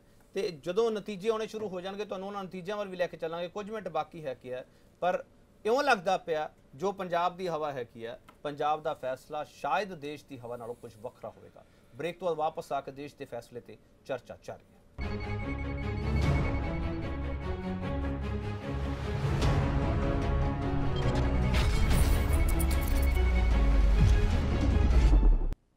ਵਕਫੇ ਤੋਂ ਬਾਅਦ ਇੱਕ ਵਾਰ ਫਿਰ ਤੁਹਾਡਾ ਸਵਾਗਤ ਹੈ। ਪੈਨਲ ਸਾਡਾ ਮੌਜੂਦ ਹੈਗਾ ਕੁਝ ਮਿੰਟ ਬਾਕੀ ਹੈਗੇ ਨਤੀਜੇ ਆਉਣ ਦੇ ਵਿੱਚ। ਗਗਨਦੀਪ ਚੌਹਾਨ, ਨਤੀਜੇ ਆਉਣ ਚ ਕੁਝ ਮਿੰਟ ਬਾਕੀ ਹੈ। ਕਿਹੋ ਜੀ ਤਿਆਰੀ ਤੁਸੀਂ ਕੀਤੀ ਸੀ ਜਦੋਂ ਸਵੇਰੇ ਉੱਠੇ ਸੀ? ਤਿਆਰੀ ਕਿ ਅਸੀਂ ਤਾਂ, ਕਿਉਂਕਿ ਰੂਟੀਨ ਹੀ ਹੈ ਸਾਡਾ ਦਾ ਤੇ ਇਹ ਦਿਨ ਇਸ ਕਰਕੇ ਵੀ ਖਾਸ ਹੋ ਜਾਂਦਾ ਹੈ ਕਿਉਂਕਿ ਇੱਕ ਪੱਤਰਕਾਰ ਹੋਣ ਦੇ ਨਾਤੇ, ਪੱਤਰਕਾਰੀਤਾ ਦਾ ਵਿਦਿਆਰਥੀ ਹੋਣ ਦੇ ਨਾਤੇ, ਇਹ ਅਜਿਹੇ ਇਵੈਂਟ ਜਿਹੜੇ ਹੁੰਦੇ, ਇਹ ਇਵੈਂਟ ਹੀ ਬਣ ਜਾਂਦਾ ਸਾਡੇ ਲਈ ਕਿੰਗਰਾ ਸਾਹਿਬ ਜਿਹੜਾ ਕਹਿ ਰਹੇ ਸੀ, ਕਿਉਂਕਿ ਕਈ ਸਾਰੇ ਉਹਨੂੰ ਐਂਟਰਟੇਨਮੈਂਟ ਵੀ ਕਹਿ ਲਿਆ ਜਾਵੇ ਜਾਂ ਉਸ ਨੂੰ ਡਿਸਕਸ਼ਨ ਕਹਿ ਲਿਆ ਜਾਵੇ ਸਾਡੀ ਕੋਸ਼ਿਸ਼ ਹੈ ਡਿਸਕਸ਼ਨ ਕਰਨ ਦੀ ਹੁੰਦੀ ਹੈ। ਪਰ ਸਵਾਲ ਇਹ ਹੈ ਵੀ ਤਿਆਰੀ ਅਸੀਂ ਤਾਂ ਕਰ ਲਈ ਹੈ। ਤਿਆਰੀ ਉਹਨਾਂ ਨੇ ਕਰ ਲਈ ਹੈ ਜਿਹੜੇ ਲੱਡੂ ਲਾਡੂ ਦੇ ਆਰਡਰ ਪਹਿਲਾਂ ਹੀ ਦੇ ਚੁੱਕੇ ਹੈ। ਉਹਨਾਂ ਦੀ ਤਿਆਰੀ ਨੂੰ ਕਿਵੇਂ ਦੇਖੀਏ? ਅਰੋੜਾ ਸਾਹਿਬ? ਲੱਡੂ ਪੇੜੇ ਕਈ ਥਾਂ ਦੇ ਬੁੱਕ ਹੋਏ ਨੇ ਕਈ ਥਾਂ ਦੀਆਂ ਤਸਵੀਰਾਂ ਵੀ ਆਈਆਂ ਨੇ ਸਾਡੇ ਤੱਕ। ਇਸ ਨੂੰ ਓਵਰ ਕੌਨਫੀਡੈਂਸ ਤਾਂ ਨਹੀਂ ਮੰਨ ਲਈ ਅਸੀਂ? ਮੈਂ ਮੈਂ ਗਗਨ ਜੀ ਉਹੀ ਦੱਸ ਰਿਹਾ। ਹਰ ਪਾਰਟੀ ਨੇ ਆਪਣੀ ਤਿਆਰੀ ਕੀਤੀ ਹੋਈ ਹੂੰ। ਇਹ ਹੈ ਕਿ ਕਿਸੇ ਦਾ ਛਪ ਜਾਂਦਾ ਹੈ ਕਿਸੇ ਦਾ ਛੁਪ ਜਾਂਦਾ ਅੱਛਾ ਸਭ ਨੂੰ ਤਿਆਰੀ ਕਰਨੀ ਵੀ ਚਾਹੀਦੀ ਹੈ। ਸਭ ਨੇ ਬੜਾ ਜ਼ੋਰ ਲਗਾ ਕੇ ਇਲੈਕਸ਼ਨ ਲੜਿਆ। ਹਰ ਪਾਰਟੀ ਦੇ ਹਰ ਕਾਰਜਕਰਤਾ ਨੇ ਇਲੈਕਸ਼ਨ ਲੜਿਆ। ਤੇ ਸਾਰਿਆਂ ਨੇ ਜਿੱਤਣ ਵਾਸਤੇ ਲੜਿਆ। ਜੇ ਜਿੱਤਣ ਵਾਸਤੇ ਲੜਿਆ ਤੇ ਲੱਡੂਆਂ ਦੀ ਤਿਆਰੀ ਕਰਨ ਉਹਦੇ ਚ ਮਾੜਾ ਵੀ ਕੀ ਹੈ ਜੀ? ਨਹੀਂ ਅਰੋੜਾ ਸਾਹਿਬ ਮੈਂ ਤਾਂ ਤਾਂ ਕਰਕੇ ਸਵਾਲ ਪੁੱਛ ਰਿਹਾ ਕਿਉਂਕਿ ਪਹਿਲਾਂ ਜਦੋਂ ਜਿੱਤ ਹਾਰ ਦੇ ਹੁੰਦੇ ਸੀ ਨਾ ਲੱਡੂ ਤਿਆਰ ਹੁੰਦੇ ਸੀ ਤਾਂ ਐ ਹੁੰਦਾ ਸੀ ਜੇ ਹਾਰਨ ਲੱਗੇ ਤਾਂ ਜਿੱਤਣ ਵਾਲੇ ਦੇ ਘਰੇ ਭੇਜ ਦਿਓ ਲੱਡੂ ਵੀ ਉਹਦੇ ਕੰਮ ਆ ਜਾਣਗੇ। ਹੁਣ ਤੁਸੀਂ ਪੇੜੇ ਵੀ ਕਮਲ ਦੀ ਸ਼ੇਪ ਦੇ ਤਿਆਰ ਕਰਾ ਲਿਆ ਬੰਬੇ ਤੋਂ ਸਾਡੇ ਕੋਲ ਤਸਵੀਰਾਂ ਆਈਆਂ ਸੀਗੀਆਂ ਬੀਤੇ ਦਿਨ। ਤੇ ਉਹ ਤਾਂ ਕਾਂਗਰਸ ਵਾਲਿਆਂ ਦੇ ਵੀ ਕੰਮ ਨਹੀਂ ਆਣੇ ਜੇ ਉੱਥੇ ਸਪੋਜ਼ ਕੁਝ ਚੇਂਜ ਹੁੰਦਾ ਰਿਜ਼ਲਟ ਦੇ ਵਿੱਚ। ਮਿਠਾਈ ਤਾਂ ਮਿਠਾਈ ਹੈ ਸਰ। ਉਹਨਾਂ ਦੇ ਵੀ ਆ ਸਕ ਵੈਸੇ ਵੈਸੇ ਇਹ ਬੜਾ ਅੱਛਾ ਹੈਗਾ। ਐਦਾਂ ਦਾ ਭਾਈਚਾਰਾ ਹੋਣਾ ਚਾਹੀਦਾ। ਲੜਾਈ ਸਿਰਫ ਇਲੈਕਸ਼ਨ ਤੱਕ ਹੋਣੀ ਚਾਹੀਦੀ ਹੈ। ਉਸ ਤੋਂ ਬਾਅਦ ਜਿਹੜੀ ਵੀ ਸਰਕਾਰ ਬਣ ਗਈ ਆਪੋਜੀਸ਼ਨ ਨੂੰ ਵੀ ਉਹਨੂੰ ਸਪੋਰਟ ਕਰਕੇ ਦੇਸ਼ ਨੂੰ ਅੱਗੇ ਲੈ ਜਾਣ ਵਾਸਤੇ ਸੋਚ ਕਰਨੀ ਚਾਹੀਦੀ ਆ ਉਹ ਕਿਸੇ ਦੀ ਵੀ ਹੋਵੇ। ਇਹ ਇਹ ਇਦਾਂ ਦੀ ਸੋਚ ਹੋਣੀ ਚਾਹੀਦੀ ਹੈ ਮੇਰਾ ਆਪਣਾ ਪਰਸਨਲ ਇਦਾਂ ਦਾ ਮੰਨਣਾ ਚਲੋ ਠੀਕ ਹੈ ਅਰੋੜਾ ਸਾਹਿਬ। ਬ੍ਰਿਗੇਡੀਅਰ ਕੁਲਦੀਪ ਸਿੰਘ ਕਾਲੋ ਬ੍ਰਿਗੇਡੀਅਰ ਕੁਲਦੀਪ ਸਿੰਘ ਕਾਲੋ ਜਦੋਂ ਤੁਸੀਂ ਗੱਲ ਕਰਦੇ ਹੋ ਕਿ ਕਾਂਗਰਸ ਨੂੰ ਮੌਕਾ ਮਿਲਣਾ ਚਾਹੀਦਾ ਇੱਕ ਹੋਰ ਜਦੋਂ ਤੁਹਾਡੇ ਵਰਗੇ ਲੋਕ ਇਹ ਗੱਲ ਕਰਦੇ ਆ ਕਿ ਬੀਜੇਪੀ ਨੇ ਦੇਸ਼ ਦੀ ਸੈਨਾ ਨੂੰ ਰਾਜਨੀਤੀ ਲਈ ਵਰਤਿਆ ਹੈਗਾ ਤੇ ਲੋਕ ਇਹ ਸਵਾਲ ਕਰਦੇ ਹੈਗੇ ਤੁਸੀਂ ਇੱਕ ਗੱਲ ਪਹਿਲਾਂ ਕਹੀ ਸੀ ਕਿ ਦੇਸ਼ ਦੀ ਸੈਨਾ ਵੀ ਵੰਡਤੀ ਇਹਨਾਂ ਨੇ ਕਿ ਤੁਸੀਂ ਤਾਂ ਨਹੀਂ ਵੰਡੇ ਗਏ? ਤੁਸੀਂ ਹੀ ਵੰਡੇ ਗਏ ਹੋ ਕਿਉਂਕਿ ਤੁਸੀਂ ਬੜੇ ਅੱਛੇ ਕਾਲਮ ਲਿਖਦੇ ਹੋ ਮੈਂ ਤੁਹਾਡੇ ਕਾਲਮ ਵੀ ਪੜ੍ਹਦਾ ਰਹਿੰਦਾ। ਵੱਡੇ ਇਹ ਸਿਆਸਤਦਾਨਾਂ ਨੇ ਇਹ ਜਿਹੜੀ ਕੰਮ ਸ਼ੁਰੂ ਕੀਤਾ ਬਹੁਤ ਮਾੜਾ ਹੈ। ਆ ਗੱਲ ਥੋੜੀ ਜਿਹੀ ਸ਼ੁਰੂ ਹੋਈ ਸੀ ਪ੍ਰੋਫੈਸਰ ਸਾਹਿਬ ਨੇ ਕਿਹਾ ਸੀ ਕਿ ਜਿਹੜੀਆਂ ਫਿਰੋਜ਼ਪੁਰ ਦੇ ਬਾਕੀ ਛਾਉਣੀਆਂ 'ਚ ਵੋਟਾਂ ਨੇ ਕਿਉਂਕਿ ਸੁਪਰੀਮ ਕੋਰਟ ਦਾ ਫੈਸਲਾ 1959 ਦਾ ਹੈ। ਔਰ ਇਲੈਕਸ਼ਨ ਕਮਿਸ਼ਨ ਨੂੰ ਲਾਗੂ ਕਰਨ ਵਾਸਤੇ ਹਦਾਇਤਾਂ ਤੇ ਹੈਗੀਆਂ ਨੇ ਕਿ ਜਿਹੜੇ ਸਟੇਸ਼ਨ ਜਿਹੜੇ ਕਿ ਖਾਸ ਤੌਰ ਤੇ ਮਿਲਟਰੀ ਸਟੇਸ਼ਨ ਵੀ ਔਰ ਦੂਜੇ ਜਿੱਥੇ ਵੀ ਫੌਜ ਉੱਥੇ ਰਹਿ ਰਹੀ ਹੈ ਕਾਫੀ ਸਮੇਂ ਤੋਂ ਉਹਨਾਂ ਦੀ ਵੋਟ ਉੱਥੇ ਮਿਲੇ ਬਣਾਈ ਜਾਏ ਔਰ ਉੱਥੇ ਪਾਈ ਜਾਏ। ਉੱਥੇ ਇਨਫਲੂਐਂਸ ਇਹ ਜਿਹੜੀ ਗੱਲ ਬਿਲਕੁਲ ਸਹੀ ਹੈ ਸਾਡੇ ਕੋਲ ਰਿਪੋਰਟਾਂ ਨੇ। ਕਿ ਉੱਥੇ ਬਿਲਕੁਲ ਬੂਥ ਖਾਲੀ ਕੋਈ ਗਿਆ ਹੀ ਨਹੀਂ। ਕਿਉਂ? ਨਹੀਂ ਫਿਰੋਜ਼ਪੁਰ ਦੀ ਰਿਪੋਰਟ ਸਾਡੇ ਕੋਲ ਵੀ ਆਈ ਸੀ? ਆਈ? ਸੀ ਸਾਡੇ ਕੋਲ ਇਸ ਕਰਕੇ ਹਾਂਜੀ? ਸਾਡੇ ਕੋਲ ਵੀ ਆਈ ਸੀ ਫਿਰੋਜ਼ਪੁਰ ਸੋਣੀ ਦੀ ਰਿਪੋਰਟ। ਹੁਣ ਇਸ ਕਰਕੇ ਬਾਕੀ ਚਾਉਣੀ ਚ ਵੀ ਹੈ। ਇਸ ਕਰਕੇ ਕਿਉਂਕਿ ਉਤੋਂ ਹੁਕਮ ਆ ਗਿਆ। ਜੇ ਐਜੂਟੈਂਟ ਜਨਰਲ ਹੁਕਮ ਦਿੰਦਾ ਚੀਫ ਦਿੰਦਾ ਉਹਨੂੰ ਤੇ ਉਹਦੇ ਉਹਦਾ ਥੱਲੇ ਪਰਕੂਲੇਟ ਹੁੰਦਾ ਉਹਦਾ ਥੱਲੇ ਤੇ ਕਰ ਜਾਂਦਾ। ਵੋਟਾਂ ਬਣੀਆਂ ਤੇ ਵੋਟਾਂ ਪਾਉਣ ਨਹੀਂ ਦਿੱਤੀਆਂ। ਕਿਉਂ ਨਹੀਂ ਅਧਿਕਾਰ ਦਿੱਤਾ ਗਿਆ? ਇਹ ਜਿਹੜਾ ਅਧਿਕਾਰ ਕਨਸਟੀਟਿਊਸ਼ਨ ਦਿੱਤਾ ਉਹਨਾਂ ਨੂੰ ਕਿਉਂ ਨਹੀਂ ਇਸਤੇਮਾਲ ਕਰ ਦਿੱਤਾ ਗਿਆ? ਕੀ ਮਤਲਬ ਹੋਇਆ? ਕਿਉਂ? ਫੌਜ ਕੰਮ ਕਰਦੀ ਹੈ ਕਮਾਂਡਿੰਗ ਆਫੀਸਰ ਹੈ। ਉਹਨੇ ਕਿਹਾ ਅੱਛਾ ਬੱਚੇ ਨਹੀਂ ਇੱਧਰ ਪਾ ਦਿਓ ਇੱਧਰ ਪਾ ਦਿਓ ਉਧਰ ਨਹੀਂ ਪਾਣੀਆਂ ਲਵਾਸਾ ਜਿਹੜੀ ਡਿਪਟੀ ਕਮਿਸ਼ਨਰ ਲੇ ਦੀ ਉਹ ਤਾਂ ਸਾਰਿਆਂ ਸਾਹਮਣੇ ਆਇਆ। ਉਹਨੇ ਸ਼ਿਕਾਇਤ ਕੀਤੀ ਉੱਥੋਂ ਦੇ ਕੋਰ ਕਮਾਂਡਰ 14 ਕੋਰ ਕਮਾਂਡਰ ਨੂੰ ਕਿ ਆਹ ਦੇਖੋ ਕੀ ਹੋ ਰਿਹਾ ਕਿ ਇੱਥੇ ਕਹੀ ਜਾ ਰਹੇ ਨੇ ਕਿ ਇੱਕ ਤੇ ਪੋਸਟਲ ਬੈਲਟ ਉਹ ਸੈਪਰੇਟ ਮੈਂ ਗੱਲ ਕਰਨੀ ਉਹਦੀ। ਤੇ ਕਹਿੰਦੇ ਜੀ ਉੱਥੇ ਵੀ ਇਨਫਲੂਐਂਸ ਕੀਤਾ ਜਾ ਰਿਹਾ ਕਿ ਵੋਟਾਂ ਇੱਥੇ ਪਾਓ। ਕਿਉਂਕਿ ਫੌਜ ਇੱਕ ਅਨੁਸ਼ਾਸਨ ਵਾਲੀ ਹੈ ਇੱਕ ਉੱਥੇ ਇੰਟੀਗ੍ਰੇਸ਼ਨ ਹੈ ਔਰ ਉਹ ਕਮਾਂਡਿੰਗ ਅਫਸਰ ਦਾ ਹੁਕਮ ਅਗਲੇ ਬ੍ਰਿਗੇਡ ਕਮਾਂਡਰ ਕਹਿੰਦਾ ਨਹੀਂ ਨਹੀਂ ਇੱਥੇ ਪਾਣੀ। ਇਹ ਡਿਵੀਜ਼ਨ ਹੋ ਗਈ। ਉਹਨੇ ਉਹਨੇ ਲਿਖ ਕੇ ਦਿੱਤਾ ਚਿੱਠੀ ਭੇਜੀ। ਫੌਜ ਕਹਿੰਦੀ ਨਹੀਂ ਕੋਈ ਇਹੋ ਜੀ ਗੱਲ ਕਾਰਵਾਈ ਨਹੀਂ ਹੋਈ। ਬਿਲਕੁਲ ਹੋ ਰਹੀ ਹੈ। ਇਹਦਾ ਅ- ਬੜਾ ਮੁ ਭੁਗਤਣਾ ਪਏਗਾ। ਦੇਖੋ ਜਦੋਂ ਦੇਸ਼ ਦੀ ਫੌਜ ਹੀ ਵੰਡੀ ਗਈ ਸੀ ਤੇ ਅਯੂਬ ਖਾਨ ਨੇ ਉੱਥੇ ਚਾਰਜ ਸੰਭਾਲਿਆ ਤੇ ਉਹਨੇ ਕਿਹਾ ਉਹਨੇ ਵੀ ਇਹ ਗੱਲ ਕੀਤੀ। ਔਰ ਇੱਥੇ ਵੀ ਇੱਥੇ ਵੀ ਇਹੋ ਗੱਲ ਹੋਈ। ਅ, ਜਲਨ ਕਰਿਆ ਬਾਅਦ ਫੀਲਡ ਮਾਰਸ਼ਲ ਬਣੇ। ਕਿ ਫੌਜ ਨੂੰ ਗੈਰ ਸਿਆਸੀ ਤੌਰ ਤੇ ਰੱਖਿਆ ਗਿਆ। ਉਹਨੇ ਵੀ ਉੱਥੇ ਗੱਲ ਕਹੀ। ਨਹੀਂ ਮਗਰ ਗੱਲ ਬ੍ਰਿਗੇਡ ਗੱਲ ਤੁਹਾਡੇ ਤਰਕ ਵਿੱਚ ਦਮ ਹੋ ਸਕਦਾ ਪਰ ਜਦੋਂ ਫੌਜ ਵਾਲੇ ਰਿਟਾਇਰਡ ਜਿਹੜੇ ਅਫਸਰ ਹੈਗੇ ਆ ਰਿਟਾਇਰਡ ਜਨਰਲ ਹੈਗੇ ਆ ਜਦੋਂ ਉਹ ਮੰਤਰੀ ਉਹਦੇ ਲੈ ਲੈਣ ਰਾਜ ਸਭਾ ਉਮੀਦਵਾਰ ਬਣ ਜਾਣ ਉਹਨਾਂ ਬਾਰੇ ਕੀ ਕਹੋਗੇ ਫਿਰ ਦੇਖੋ ਦੇਖੋ ਗੱਲ ਇਹ ਵੇ ਕਿ ਜੋ ਰਿਟਾਇਰਮੈਂਟ ਤੋਂ ਬਾਅਦ ਜੇ ਕੋਈ ਸਿਆਸਤ ਚਾਹੁੰਦਾ ਕੋਈ ਮਾੜੀ ਗੱਲ ਨਹੀਂ ਉਹ ਕਰੀ ਜਾਏ। ਮਗਰ ਗੱਲ ਇਹ ਵੇ ਕਿ 100 ਬੰਦਾ ਜੇਕਰ ਇੱਕ ਬੀਜੇਪੀ ਜੁਆਇਨ ਕਰਦਾ ਉਹਨੂੰ ਤੇ ਬੜੀ ਮਹਾਨਤਾ ਦਿੱਤੀ ਜਾਂਦੀ ਹੈ। ਗੁਣਗਾਨ ਜੀ ਕੀਤੇ ਜਾਂਦੇ ਨੇ।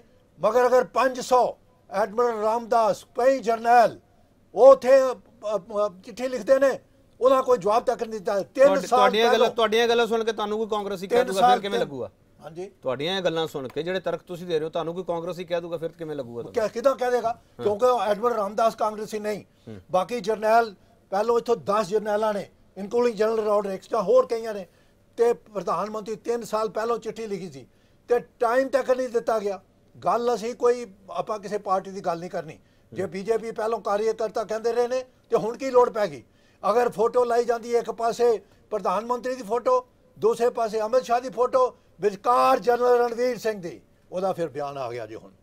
ਤੇ ਗੱਲ ਮਾੜੀ ਹੈ ਇਸ ਕਰਕੇ ਫੌਜ ਕਹਿੰਦੇ ਨੇ ਕਿ ਸਾਡੀ ਸੈਨਾ ਮੋਦੀ ਸੈਨਾ ਸੈਨਾ ਤੇ ਇਹਨੂੰ ਭੇਜੋ ਲਾਈਨ ਆਫ ਕੰਟਰੋਲ ਤੇ। ਉਹ ਜਿਹੜੇ ਸ਼ਹਾਦਤਾਂ ਦੇ ਰਹੇ ਨੇ ਉਹਨਾਂ ਦੇ ਪਰਿਵਾਰਾਂ ਦਾ ਪੁੱਛਣ ਜਾ ਕੇ ਕੀ ਹਾਲ ਹੈ ਤਾਂ ਪਤਾ ਚਲੇ। ਇਹ ਕਾਰਜਕਰਤਾ ਮੈਂ ਸੁਣਦਾ ਰਿਹਾ। ਮੈਂ ਅਟੈਂਡ ਕੀਤੀਆਂ ਨੇ ਮੀਟਿੰਗਾਂ ਵੀ ਅਟਲ ਬਿਹਾਰੀ ਵਾਜਪਾਈ। ਉਹ ਉਦੋਂ ਦੇ ਟਾਈਮ ਕਾਰਜਕਰਤਾ ਚੱਲਦੇ ਰਹੇ ਨੇ। ਚਲੋ ਦੇਣਾ ਇਹਨਾਂ ਨੇ ਮਗਰ ਫੌਜ ਦੇ ਵਿੱਚ ਬਤਾੜ ਕੇ ਜਿੰਨੇ ਬੈਨਰ ਲੱਗੇਗੇ ਜਿੰਨੀਆਂ ਫੋਟੋ ਵਿੱਚ ਜਨਰਲ ਰਣਵੀਰ ਸਿੰਘ ਨੂੰ ਲਾ ਕੇ।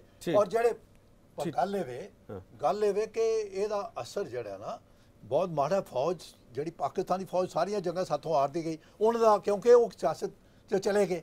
ਔਰ ਸਾਡਾ ਦਰਜਾ ਅਸੀਂ ਸਾਡੀ ਫੌਜ ਜਿੱਤੇ ਗਈ ਜੰਗਾਂ ਤੇ ਦਰਜਾ ਥੱਲੇ ਗਿਆ ਉਹਨਾਂ ਉੱਤੇ ਗਿਆ। ਠੀਕ ਹੈ ਪ੍ਰਸਮਜੀਤ ਸਿੰਘ ਪ੍ਰਸਮਜੀਤ ਸਿੰਘ। ਫੌਜ ਦੇ ਸਿਆਸੀਕਰਨ ਲਈ ਸਿਰਫ ਭਾਰਤੀ ਜਨਤਾ ਪਾਰਟੀ ਜ਼ਿੰਮੇਵਾਰ ਹੈ? ਮੈਨੂੰ ਲੱਗਦਾ ਕਿਸੇ ਹੱਦ ਤੱਕ। ਕਿ ਜ਼ਿਆਦਾ ਹੱਦ ਤੱਕ ਪਹਿਲਾਂ ਵੀ ਹੋਇਆ ਹੋਊਗਾ ਪਹਿਲਾਂ ਵੀ ਹੋਇਆ ਹੋਊਗਾ ਪਰ ਜਿੰਨਾ ਚਾਰੇ ਪਾਸੇ ਹੋਣ ਕਰਕੇ ਐਂ ਲੱਗਦਾ ਕਿ ਹੁਣ ਜ਼ਿਆਦਾ ਆ। ਫਾਰ ਇਨਸਟੈਂਸ ਕੱਲਾ ਫੌਜ ਦਾ ਹੀ ਨਹੀਂ ਫੌਜ ਦਾ ਹੁਣ ਲਾ ਲਓ ਦੋ ਰੌਲਾ ਹੋਰ ਪਏ ਹੋਏ ਆ। ਜਿਹੜੇ ਰਾਵਤ ਜੀ ਨੂੰ ਆਰਮੀ ਦੇ ਚੀਫ ਬਣਾਇਆ ਉਹਨਾਂ ਨੂੰ ਕਈਆਂ ਦੀਆਂ ਸੀਨੀਅਰਿਟੀ ਨੂੰ ਟ੍ਰਾਂਸੈਂਡ ਕਰਕੇ ਬਣਾਇਆ ਬਾਈਪਾਸ ਕਰਕੇ ਬਣਾਇਆ। ਉਦੋਂ ਵੀ ਥੋੜਾ ਜਿਹਾ ਚੱਲਿਆ, ਪਰ ਉਹ ਖੁੱਲ ਕੇ ਨਹੀਂ ਆਇਆ। ਆ ਨੇਵੀ ਵਾਲਾ ਖੁੱਲ ਕੇ ਆ ਗਿਆ। ਨੇਵੀ ਦੀ ਜਿਹੜੀ ਜਿਹਨੂੰ ਹੁਣ ਨੋਮੀਨੇਟ ਕੀਤਾ ਗਿਆ ਚੀਫ ਬਣਾਉਣ ਲਈ, ਉਹਦੇ ਵਿਰੁੱਧ ਦੋ ਵਾਰੀ, ਇੱਕ ਵਾਰੀ ਹੋਮ ਮਿਨਿਸਟਰੀ ਚ ਐਪਲੀਕੇਸ਼ਨ ਗਈ ਹੈ, ਜਿਹੜੇ ਉਹਨਾਂ ਨਾਲੋਂ ਜ਼ਿਆਦਾ ਸੀਨੀਅਰ ਹੈਗੇ ਆ। ਉਹ ਕਹਿੰਦੇ, ਇਹ ਕਿਵੇਂ ਤੁਸੀਂ ਕਰਤਾ? ਜਦੋਂ ਇਹੋ ਜਿਹੇ ਲੋ ਜਿਹੜੇ ਆਰਮੀ ਦੇ ਜਿਹੜੇ ਸੀਨੀਅਰ ਅਫੀਸਰ ਆ ਉਹਨਾਂ ਦੇ ਵਿੱਚ ਇਹੋ ਜਿਹੀ ਨਿਰਾਸ਼ਾ ਆ ਜੂਗੀ ਕਿ ਸਾਨੂੰ ਬਾਈਪਾਸ ਕਰਕੇ ਆਪਣੀ ਮਰਜ਼ੀ ਨਾਲ ਜਿਹਨੂੰ ਮਰਜ਼ੀ ਰਾਜਨੀਤਿਕ ਲੋਕ ਲਾ ਰਹੇ ਆਪਣੀ ਸੂਟੇਬਿਲਟੀ ਨਾਲ ਲਾ ਰਹੇ ਆ ਭਾਵੇਂ ਉਹ ਠੀਕ ਹੋਵੇ ਜਾਂ ਗਲਤ ਹੋਵੇ ਉਹ ਨਹੀਂ ਹੈ। ਜਿਹੜੀ ਬੇਭਰੋਸਗੀ ਹੋਊਗੀ ਉਹ ਕਿਵੇਂ ਆਰਮੀ ਲੜੂਗੀ ਕਿਵੇਂ ਉਹ ਵੰਡੀ ਜਾਊਗੀ ਕਿ ਨਹੀਂ ਜਾਊਗੀ ਨਰੇਸ਼ ਉਹਦੇ 'ਚ- ਅਰੋੜਾ ਸਾਹਿਬ ਇਹ ਸੀਨੀਅਰਸ ਨੂੰ ਸਾਈਡਲਾਈਨ ਕਰਨਾ ਪਾਰਟੀ ਦੀ ਰਵਾਇਤ ਹੈ ਤੁਸੀਂ ਪਾਰਟੀ ਦੇ ਅੰਦਰ ਵੀ ਸੀਨੀਅਰ ਨੂੰ ਸਾਈਡਲਾਈਨ ਕਰ ਦਿੰਦੇ ਹੋ ਦੇਸ਼ ਦੇ ਇੰਸਟੀਟਿਊਸ਼ਨਸ ਦੇ ਵਿੱਚ ਵੀ ਸੀਨੀਅਰਿਟੀ ਨੂੰ ਸਾਈਡਲਾਈਨ ਕਰ ਦਿੰਦੇ ਹੋ ਜੂਨੀਅਰ ਨੂੰ ਅੱਗੇ ਕਰ ਦਿੰਦੇ ਹੋ? ਨਹੀਂ ਐਦਾਂ ਨਹੀਂ ਹੈ ਜੀ। ਕਿਸੇ ਨੂੰ ਨਾ ਸਾਈਡਲਾਈਨ ਕੀਤਾ ਜਾਂਦਾ ਨਾ ਸਾਡੀ ਪਾਰਟੀ 'ਚ ਇਦਾਂ ਦੀ ਪ੍ਰਥਾ। ਹੈ।